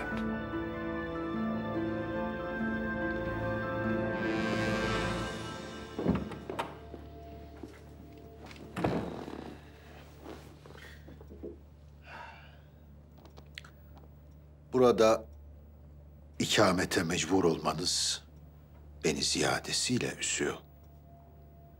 Halbuki siz payitahta ilk geldiğiniz gün Abdülhamid'in karşısına çıkacak kadar kudretli biriydiniz. Bu gördüklerin seni bizim kudretimizden şüpheye düşürmesin Karasu. O halde bize aksini ispat edin. Akıllarımızdaki şüpheyi kaldırın. Sizin yaptıklarınız Abdülhamid'i daha da güçlendiriyor. Ve ben bunu gördükçe çok daha fazla üzülüyorum. Bay Parvus. Emanuel Karasu. Güneydeki dostlarımız senden çok bahsederdi. Çok sevildiğini birkaç kez kendi kulağımla işittim. Çok mühim vakalara liderlik edebileceğinden bahsederlerdi. Seninle çok sağlam bir bağımız var. Sabredin. Ben dostlarıma karşı çok sabırlıyımdır.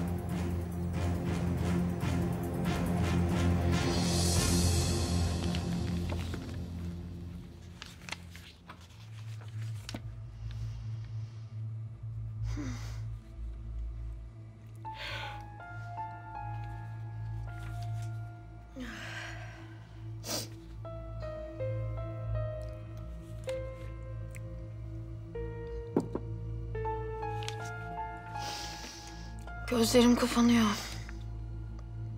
Dün geç saatlere kadar çeviri yaptım ondan herhalde. Biraz uyu istersen. Ben buradayım ne de olsa.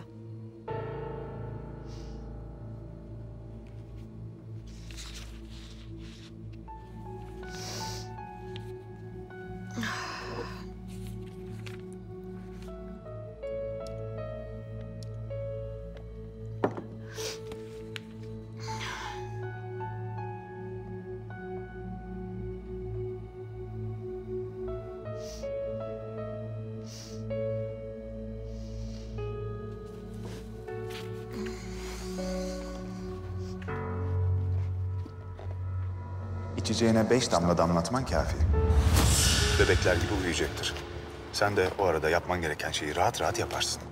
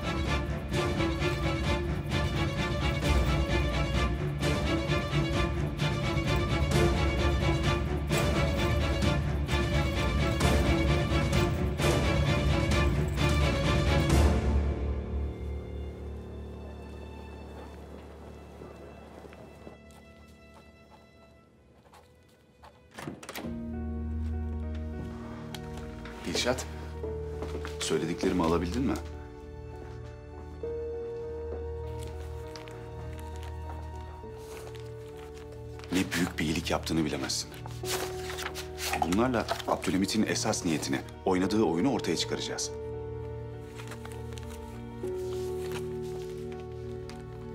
Benim içim hiç rahat değil. Gizli saklı bir iş yaptık neticede. Ama doğru bir şey yaptın. Bunları ifşa ettiğimizde Osmanlı ile Almanların ittifakı bitmiş olacak. Yani sen belki de bütün dünyaya zulmetmeye niyet etmiş bir şer ittifakını bitirmiş olacaksın.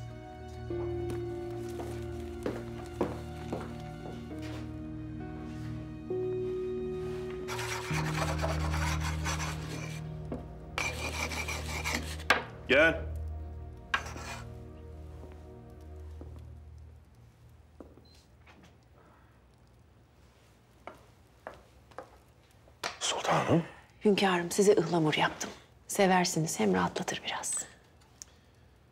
Bugün gönlüm ferah sultanım. Böyle yüzünüzün güldüğünü görmek ne kadar güzel. Demek memleket meseleleri yolunda. Doğrudur. Haremdeki meseleler ne alemdedir? Abdülkadir ile Firuze canınızı sıkıyor mu hala? Hayır hünkârım. Bence çok yakın bir vakitte Abdülkadir bu kızın gerçek yüzünün ne olduğunu görecek. Ve aynı sizin de arzu ettiğiniz üzere izdivaç kararını aldığı gibi ayrılık kararını da kendisi alacak. Siz yüzüm güldüğü vakit memnun oluyorsunuz ya. Asıl benim için sizin yüzünüzde güller açtığını görmek ömre bedel sultanım.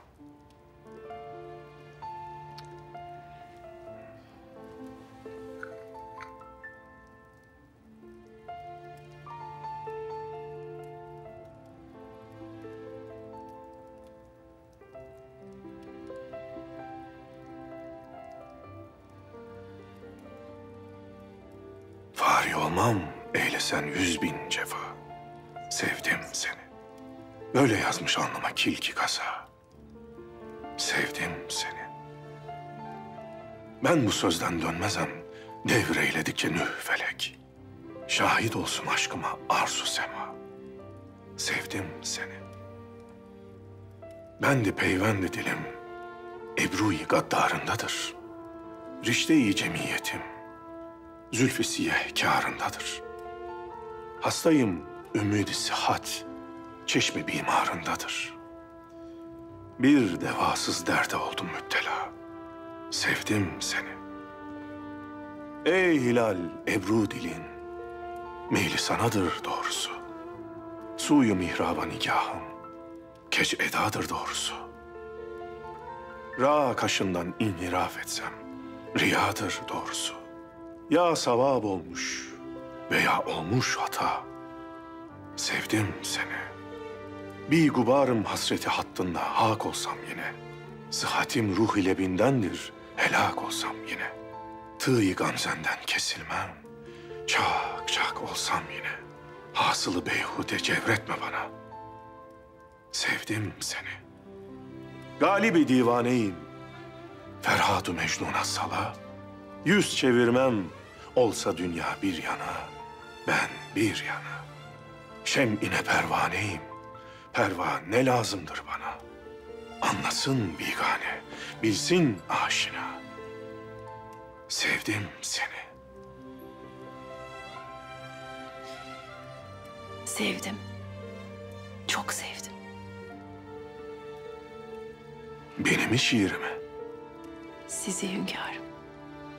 Şiirden de çok, herkesten de çok. Sultanım.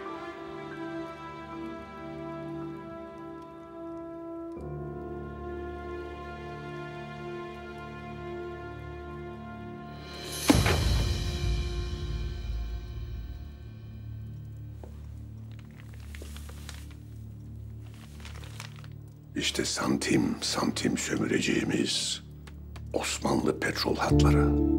Sonunda istediğimizi aldık Abdülhamit'ten. Gel.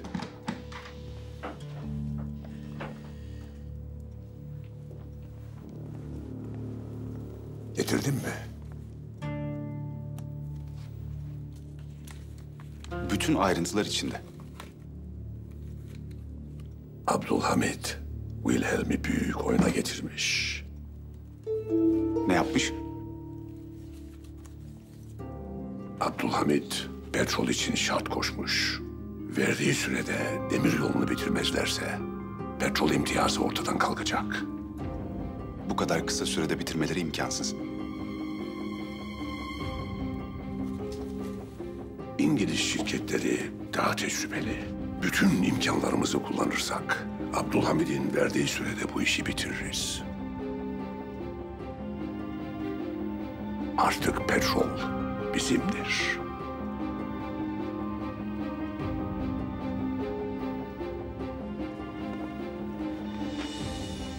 Karaso, dostumuz bizden yana şüpheye düşmüş. Neden böyle düşünüyorsunuz? Beni ziyarete geldi. Kendi söyledi. Ona şüphelerinde haksız olduğunu anlatmalısın. Karaso gibi iyi bir dostumuzu kaybetmek istemeyiz. Dostluğumuzla ilgili şüphe ettiğini sanmıyorum. Rusya'dan gelen Yahudilerin hali onu biraz etkiledi. Ümitsizliğe düşmüş olabilir. Toparlayacaktır. Ben de öyle düşünüyorum.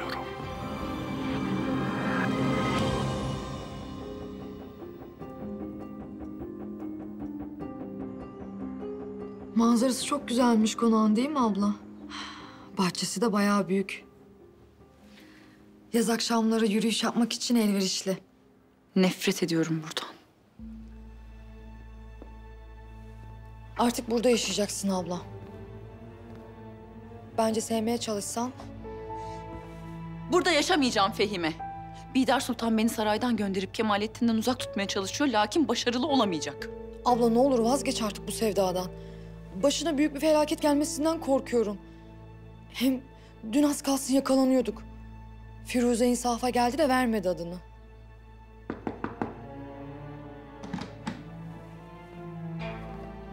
Bir misafiriniz var. Kimmiş?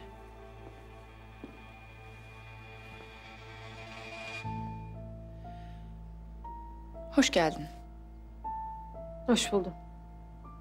Sen çıkabilirsin. Biz de tam senden bahsediyorduk.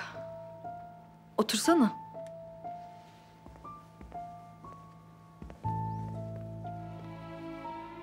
Dün ablamın adını vermediğin için minnettarız sana.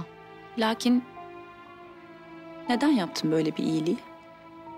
Çünkü düşmanlarımız aynı. Ben de Naime Sultan'ın, Vidar Sultan'ın o sarayda hüküm sürmesini, hayatlarımız üzerinde tahakküm kurmasını istemiyorum.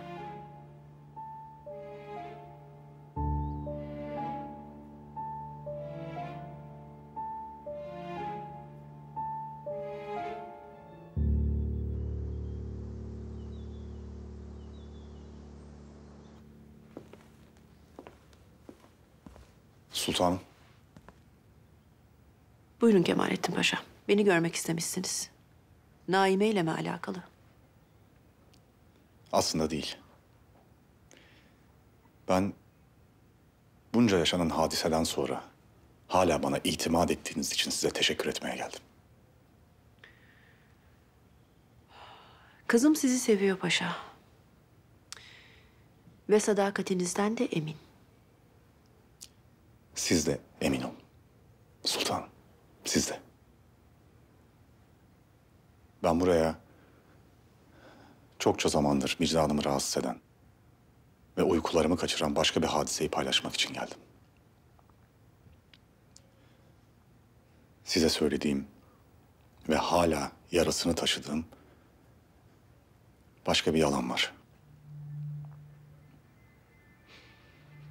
Sultanım, ben size dürüstlük yemini ettim. Dolayısıyla söylemeden duramayacağım artık. Demek başka bir yalan daha.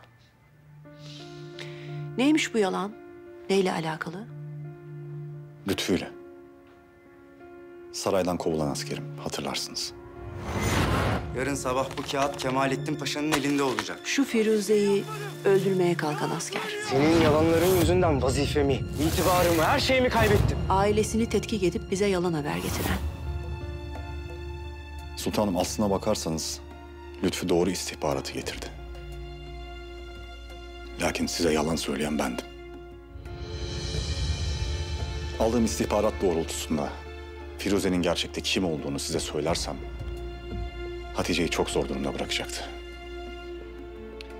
Ve o da sizi O da beni tehdit etti.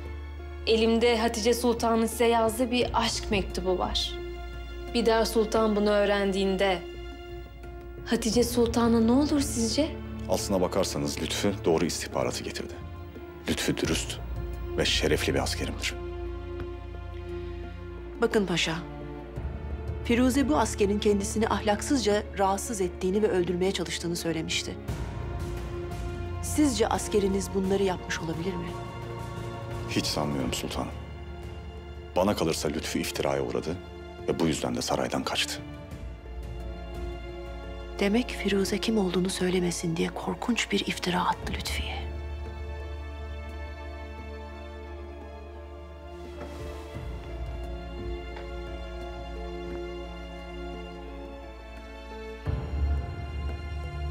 Bana o askeri getir paşa.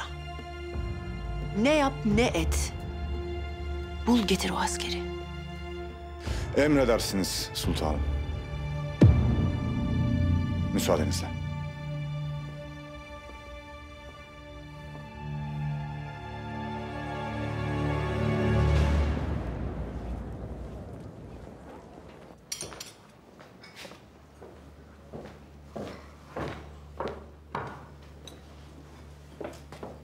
Parvus'a mı gittin? Evet. Neden bana söylemedin? Çünkü sen hala Parvus'a inanıyorsun. Ben de gidip kendi gözlerimle gerçekten inanılacak bir durumu var mı diye görmek istedim. Ne gördün? Dostum bunu duymak istediğinden emin değilim ama koca bir hiç. Parvus'la dostluğunu bozacak zaman değil. O burada değilken daha çok şey yapabiliyorduk. Şimdi oturmuş ondan emir bekliyoruz. Ve yaptığı her şey de boşa çıkıyor. Parvus olmasaydı yaptıklarımızın hiçbirini yapamazdık. O halde bekleyelim ve görelim. Ben gerekeni söyledim.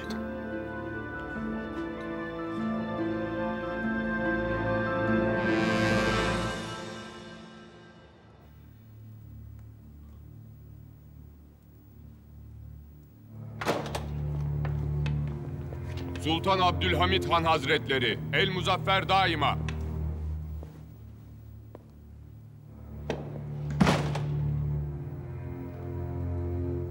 Geleceğinizin haberini alınca çok sevindim. Her şeye rağmen dostluk ihtimali var demek. Kötü niyetli olmadığınız sürece dostluğumuz kalıcı olacaktır.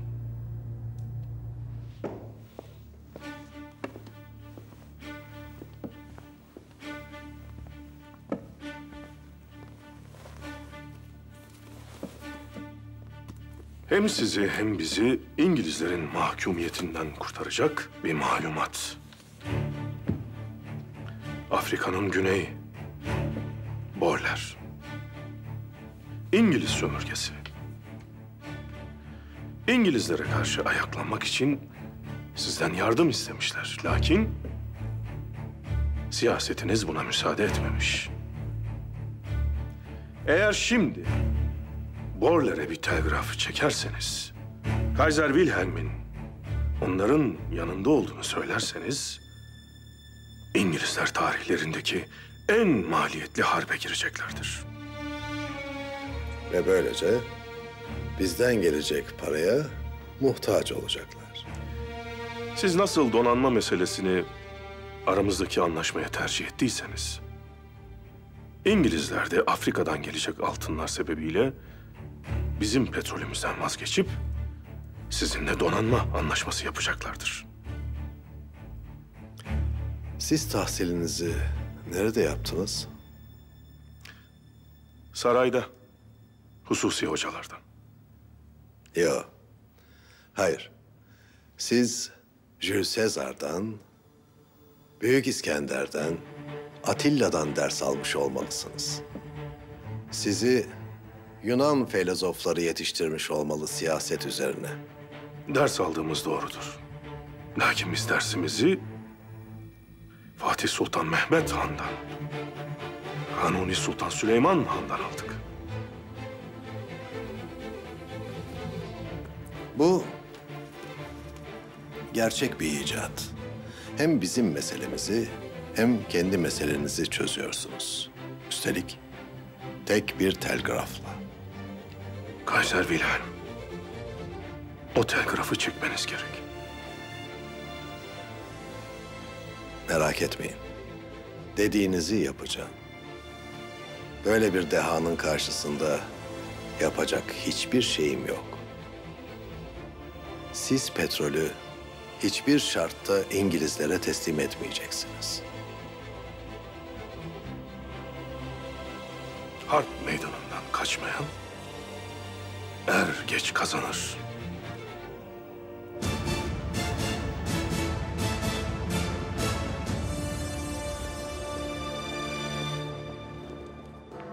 İngiliz kabinesi çalkalanıyor.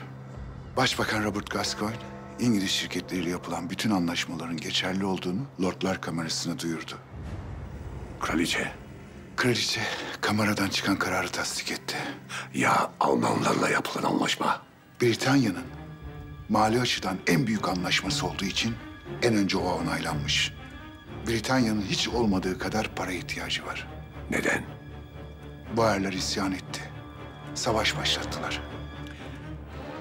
Afrika'daki en büyük altın madenleri o bölgede. Büyük ve çetin bir harp olacak. Abdülhamid'e karşı büyük bir zafer kazanacaktık. Nasıl böyle bir hamle yapar? Bu Abdülhamit'in hamlesi olamaz. Beklenen bir isyandı. Hükümet hazırlıklarını yapıyordu. Ama beklenenden önce oldu. Abdülhamid, Boerlerin ilk isyanından beri bunu takip ediyordur. Bu isyanın fitilini Abdülhamid ateşledi. Eğer bunu yapabilecek kadar gücü olsaydı çoktan yapardı. Abdülhamid'i tanımamışsınız. Vakti gelmeden hiçbir hamle yapmaz. Derhal bana William'le bir görüşme ayarla. Sizi kabul etmez. Suikast yaptığınızı biliyor. Kabul edecek. Abdülhamit'le imzaladığı antlaşmada oyuna getirildiğini söyle. Mahmut Paşa'ya verdiği rüşvetin işe yaramadığını bilsin. Ona devletinin menfaatine gerçek bir teklif sunacağım. Eğer siyasetinde kazanmak istiyorsa benimle görüşmek zorunda.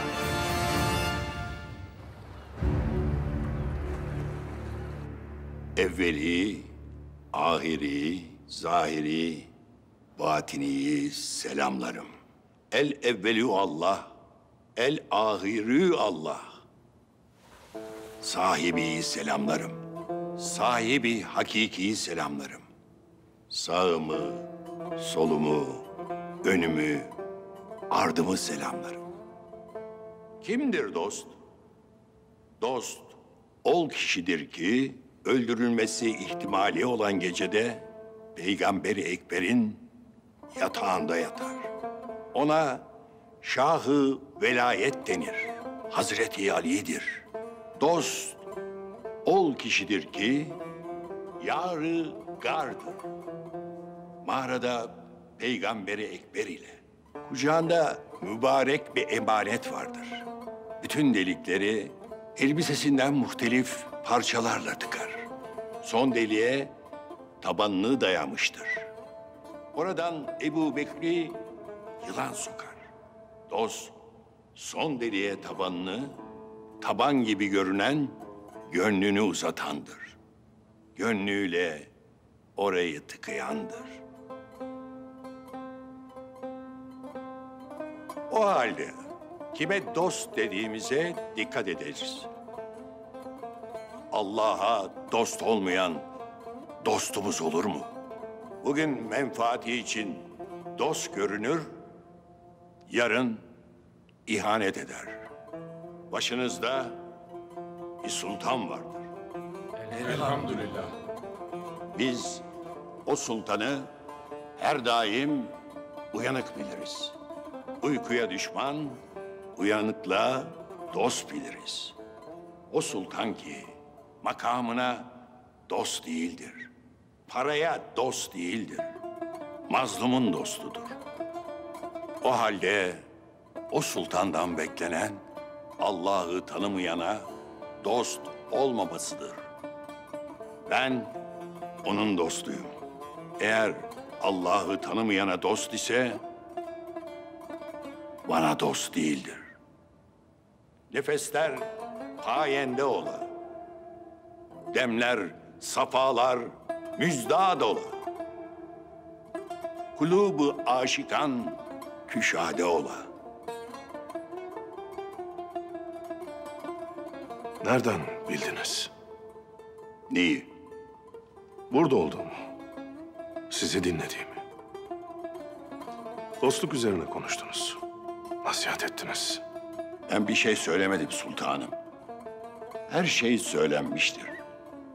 Kur'an-ı Mecid'de söylenmiştir. Kelam-ı Kadim'de söylenmiştir. Peygamberi Ekber hadis-i şeriflerde söylemişlerdir. Ben bir şey söylemedim. Benim gönlüm Bilal'me dost değildir. Siyasetim dosttur. Nereden çıktı şimdi bu? Wilhelm'i ağırlıyoruz. Anlaşmalar yaptık. Her yerde bizim ve onun dost olduğu yazıyor. Görmediniz mi? Yalana alışkın değilimdir. Gazete okumam. İkazlarınız nefsime ağır geldi. Ben kendimi ikaz ettim. Benim sözümün muhatabı kendi nefsimdir hünkârım. Wilhelm'e güvenme dersiniz. Onunla dost olma dersiniz. Dost olma, düşman da olma. Bil ki gün gelir, devir döner. Dostum dediğim sana kılıç çeker.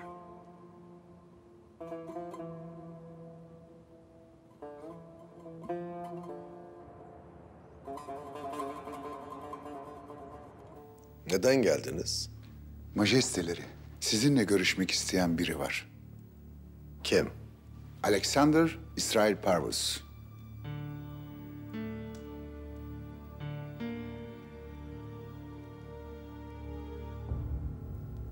Beni öldürmeye teşebbüs eden adama aracılık etme cesaretini nereden buluyorsun? Majesteleri, sizi öldürmeye kalkacak kadar güçlü birine hayır diyemezdim. Beni öldürmeye cesaret edip de benimle görüşmek isteyen birisinin elinde affıma mazhar olacak bir şey olmalı. Majesteleri çok zekisiniz. Onda sizin için mühim olan bir bilgi var. Ona biz karar veririz. Canını bağışlamak için söz vermiyorum. Ama görüşme talebini kabul ediyorum. Eğer arzu ederseniz görüşmeyi Eminönü'ndeki Bizans surlarında gerçekleştirebilirsiniz. Uygundur.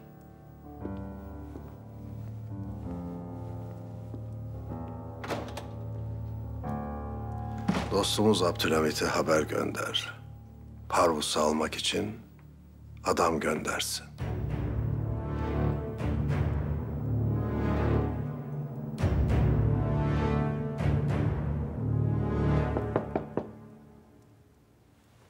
Gel.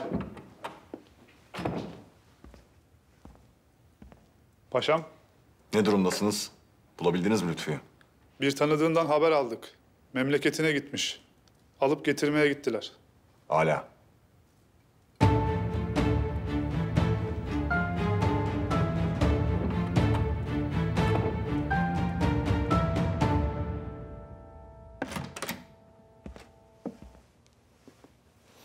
Hünkârım, Buyurun Sefir Efendi.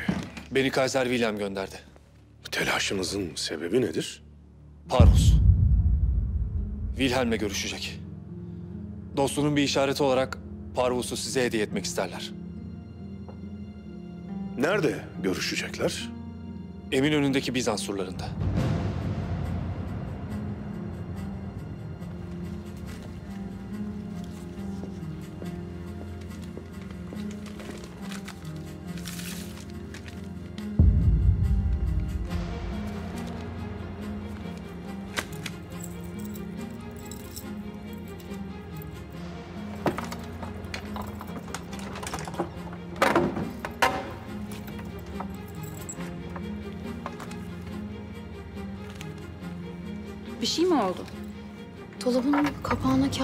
Sıkışmış.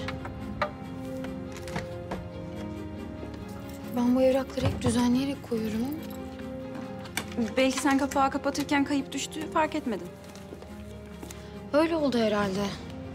Çünkü anahtar bende. Başka kimse açamaz.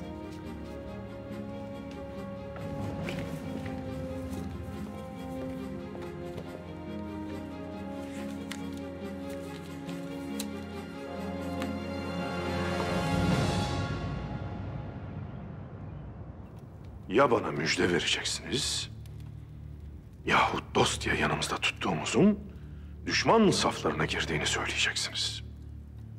Ne hususta hünkârım? Wilhelm haber gönderdi.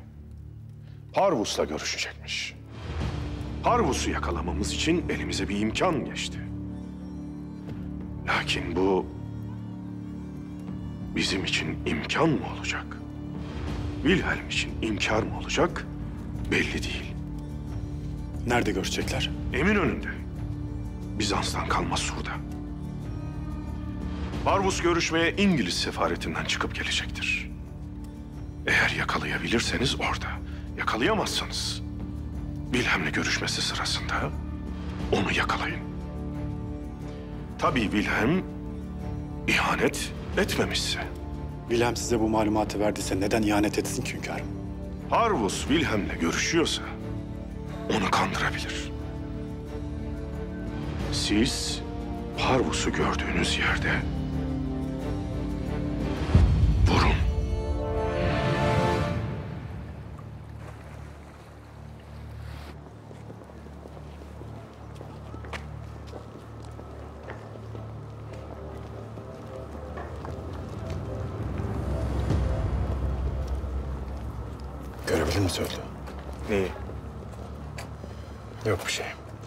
Anlaşıldı göremedin.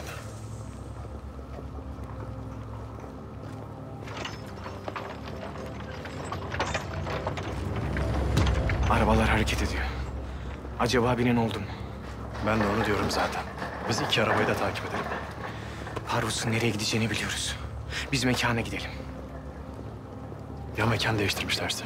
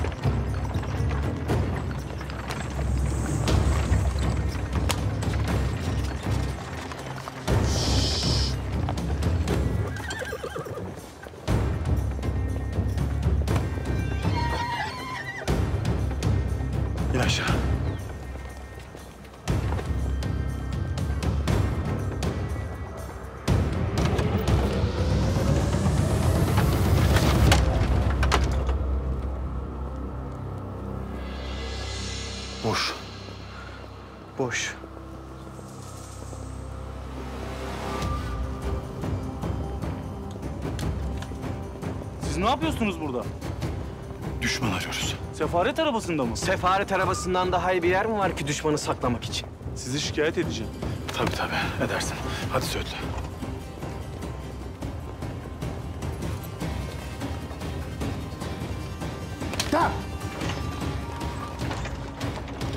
Başka kapıdan çoktan kaçmış olmalı.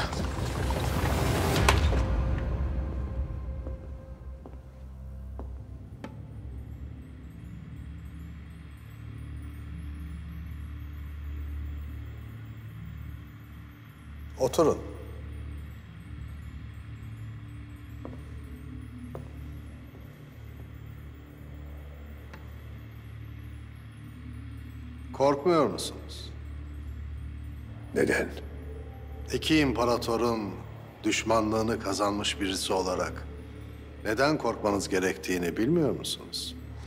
Eğer korksaydım bu harbe hiç girmezdim.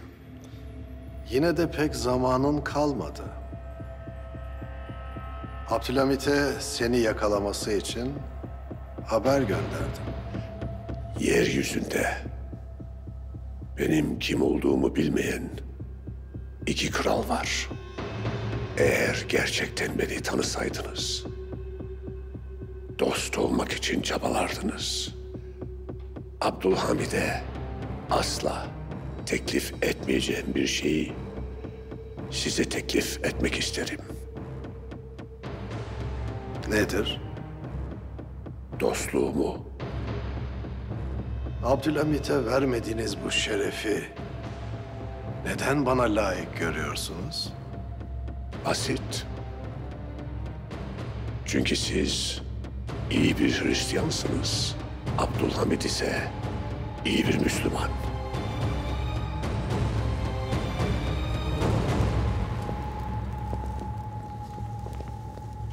Söğütlü. Bu adam tedbir almadan buraya gelmez. Ne olursa olsun çarpışacağız. Bir canım var Murat Efendi. Onu da burada bırakmak benim için şereftir. Hemen ölmeyi mi düşünüyorsun lan Söğütlü? Yani ben vazifeyi ne kadar mühim gördüğüme misal olsun diye söyledim. Evelallah sen yanımdayken bana bir şey olmaz. Vallahi Söğütlü vakti geldi mi Azrail Murat Efendi'yi falan dinlemez. Sen yine de dikkatli ol. Eyvallah. Kim var kim yok hepsini buraya gömelim. O şerefsizle hünkârımızın ayakları dibine atalım. İnşallah Murat Efendi.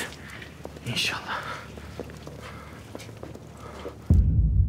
Doğu siyasetinde Abdülhamit'le birlikte hareket etmenizi anlıyorum. Ama aynı kanı taşıdığınız, dindaş olduğunuz kraliçeye karşı ittifak etmeniz beni biraz şaşırttı.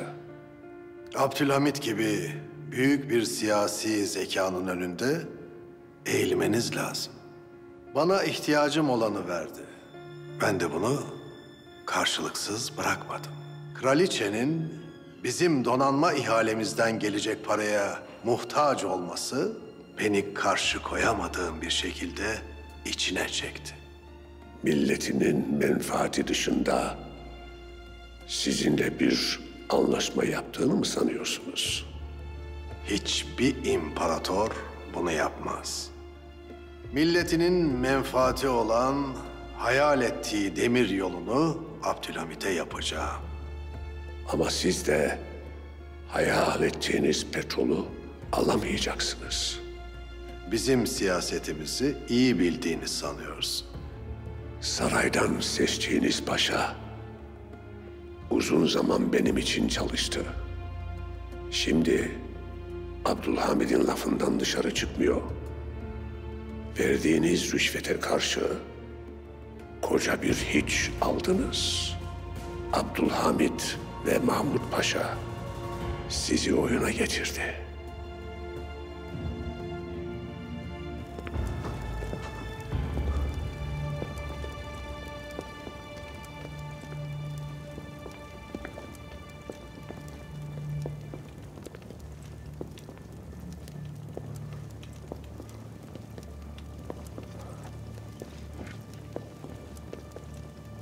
Üç kişi burada kalsın, arkamızı kollasın.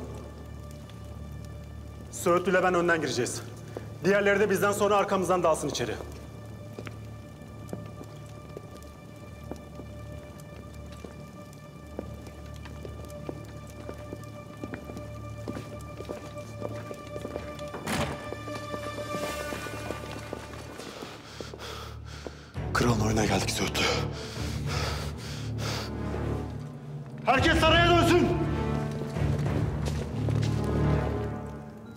Abdülhamid en başından beri demir yolunun verdiği tarihte bitmeyeceğini biliyordu.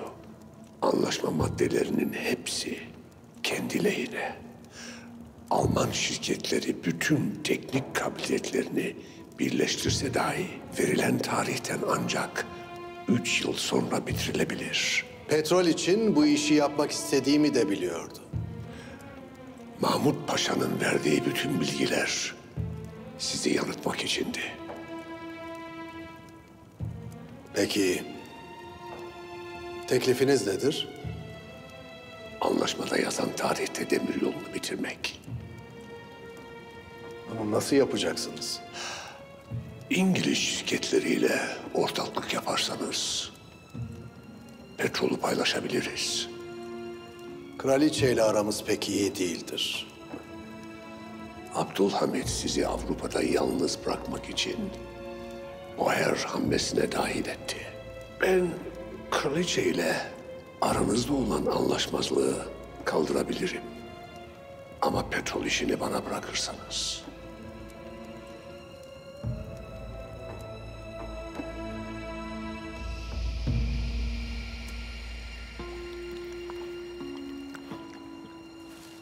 Hünkârım.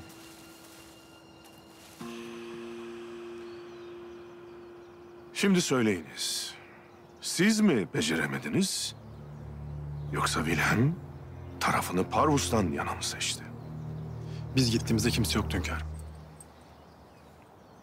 Anlaşıldı. Tahsin Paşam. Emredin hünkâr. Parvus, Wilhelm'i neyle ikna edebilirdi? Anlaşma şartlarındaki tertibimizi söyleyerek. Biz Almanlarla bir anlaşma yaptık. Alman heyetinin o anlaşmalardaki ayrıntıları keşfedecek kabiliyeti yok. Lakin uzun süredir petrol meselesi üzerine çalışan Parvus'un vardı. Siz oraya gidene kadar Parvus meseleyi divanımızdan bir sızıntıyla öğrenip Wilhelm'i ikna etti. Şimdi biz petrolümüzü kaybetme tehlikesiyle karşı karşıyayız. Ne emredersiniz hünkârım? O belgeler Parvus'a nasıl sızdı onu bul.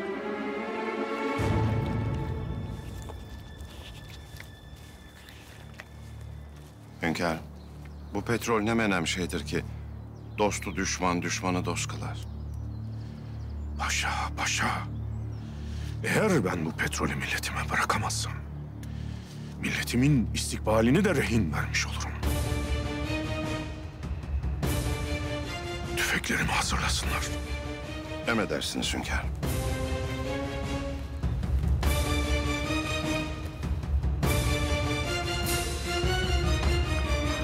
Abdülhamit seninle ortaklık teklifini kabul etmeyecektir. Elbette. Şu an karşısındaki en büyük düşman benim. Ne yapacaksın?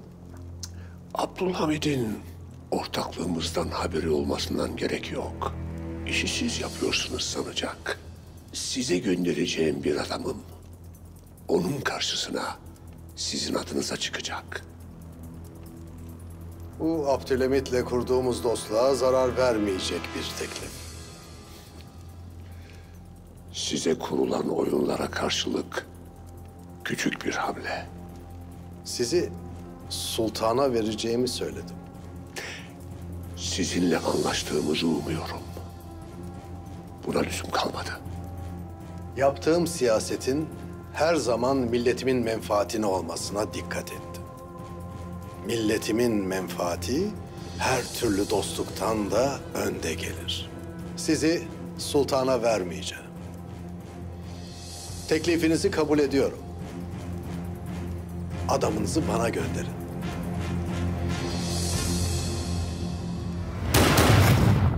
At! At! At!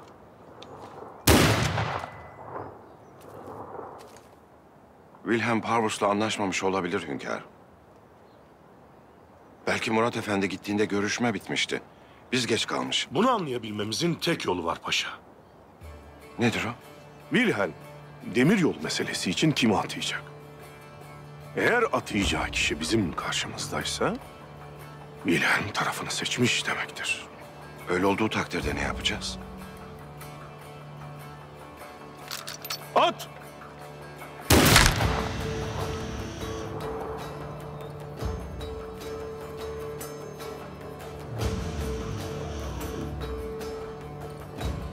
Eğer o petrolü koruyamazsak...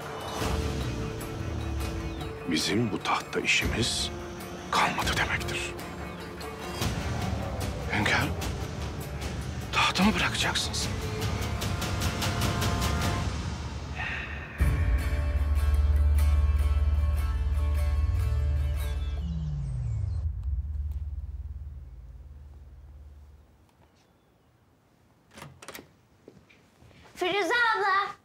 Şadiye.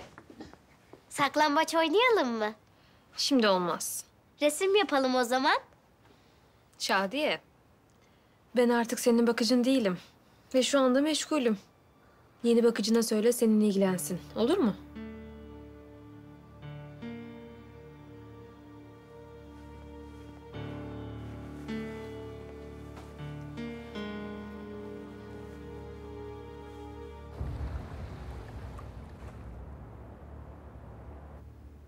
Firuze ablam artık bakıcın değilim dedi. Bundan sonra benimle oynamayacak mı? Üzülme Şadiyeciğim. Ben oynarım seninle olmaz mı? Ama ben Firuze ablamı istiyorum. O öyle deyince ben çok üzüldüm. Firuze'yi Şadiye'ye düşkün sanırdım. O bile yalanmış. Nasıl da gerçek yüzünü gösteriyor hemen. Hayırlı akşamlar. Senin ne işin var burada? Şadiye Sultan için geldim. Sultanım, bugün sizinle ilgilenemedim. İşim vardı. Bu gece masal okumamı ister misiniz? Tamam, olur.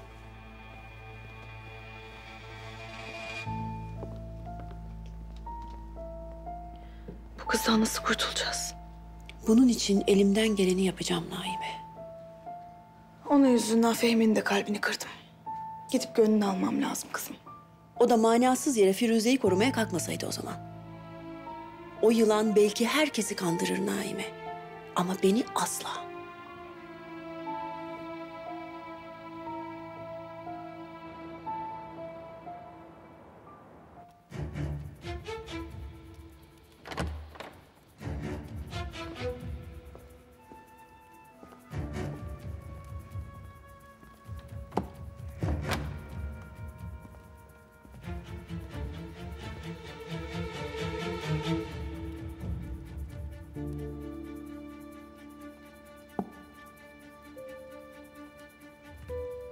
Size Parvus'u veremediğim için üzgünüm.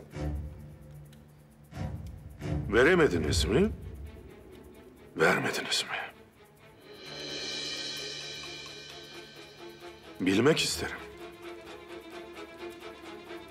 Neyi? Dost musunuz, düşman mı? Yoksa ikisinin arasındaki ince çizgide bekleyen mi? Size buraya Kudüs'e gideceğimi bildirmek için gelmiştim. Kudüs. Selahaddin Eyyubi'nin fethettiği gök şehri. Dedem Yavuz Selim'in emanet aldığı şehre gitmek istediğinizi söylüyorsunuz. Evet. Ve bizim müsaademizi istiyorsunuz.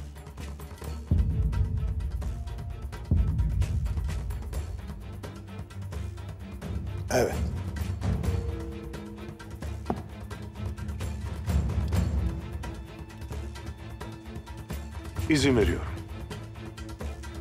Gidebilirsiniz.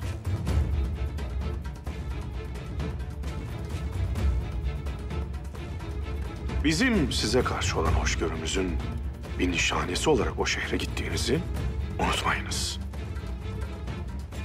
Lakin gitmeden evvel demir yolu işlerini takip etmesi için kimi vazifelendirdiğinizi bilmek isterim.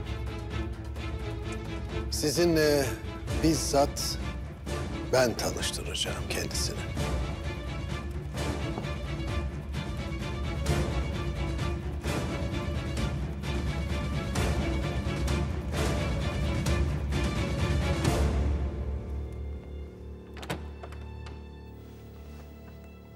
Seni bulduğumuza çok sevindim Lütfü.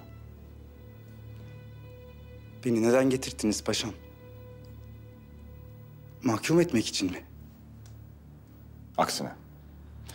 Hakikati aydınlatmak ve üzerine yapışan iftirayı temizlemek için çağırdım seni buraya Lütfü. Nasıl olacak bu? Bidar Sultan sana hepsini anlatacak. Bidar Sultan mı?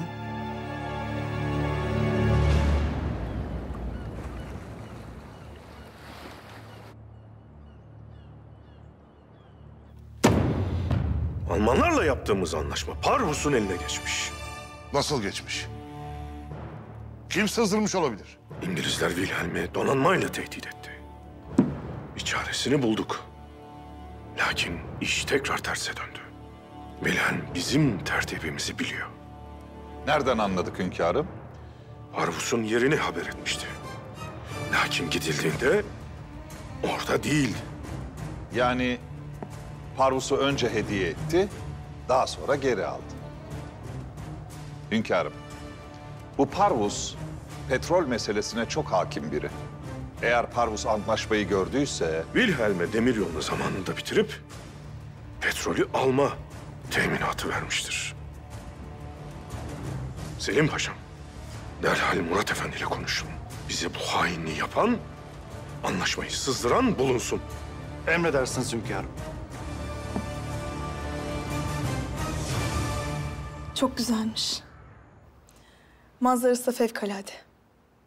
Dilerim Vasfi Efendi ile burada çok mutlu olursunuz. Otursana. Yorulmuşsundur.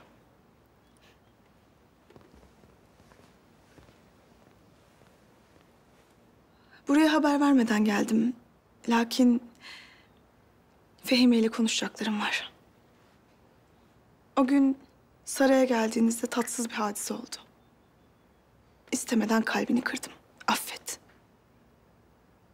Broşu Firuze'nin kırdığına o kadar emindim ki. Sen de onu savununca sesim yükseldi.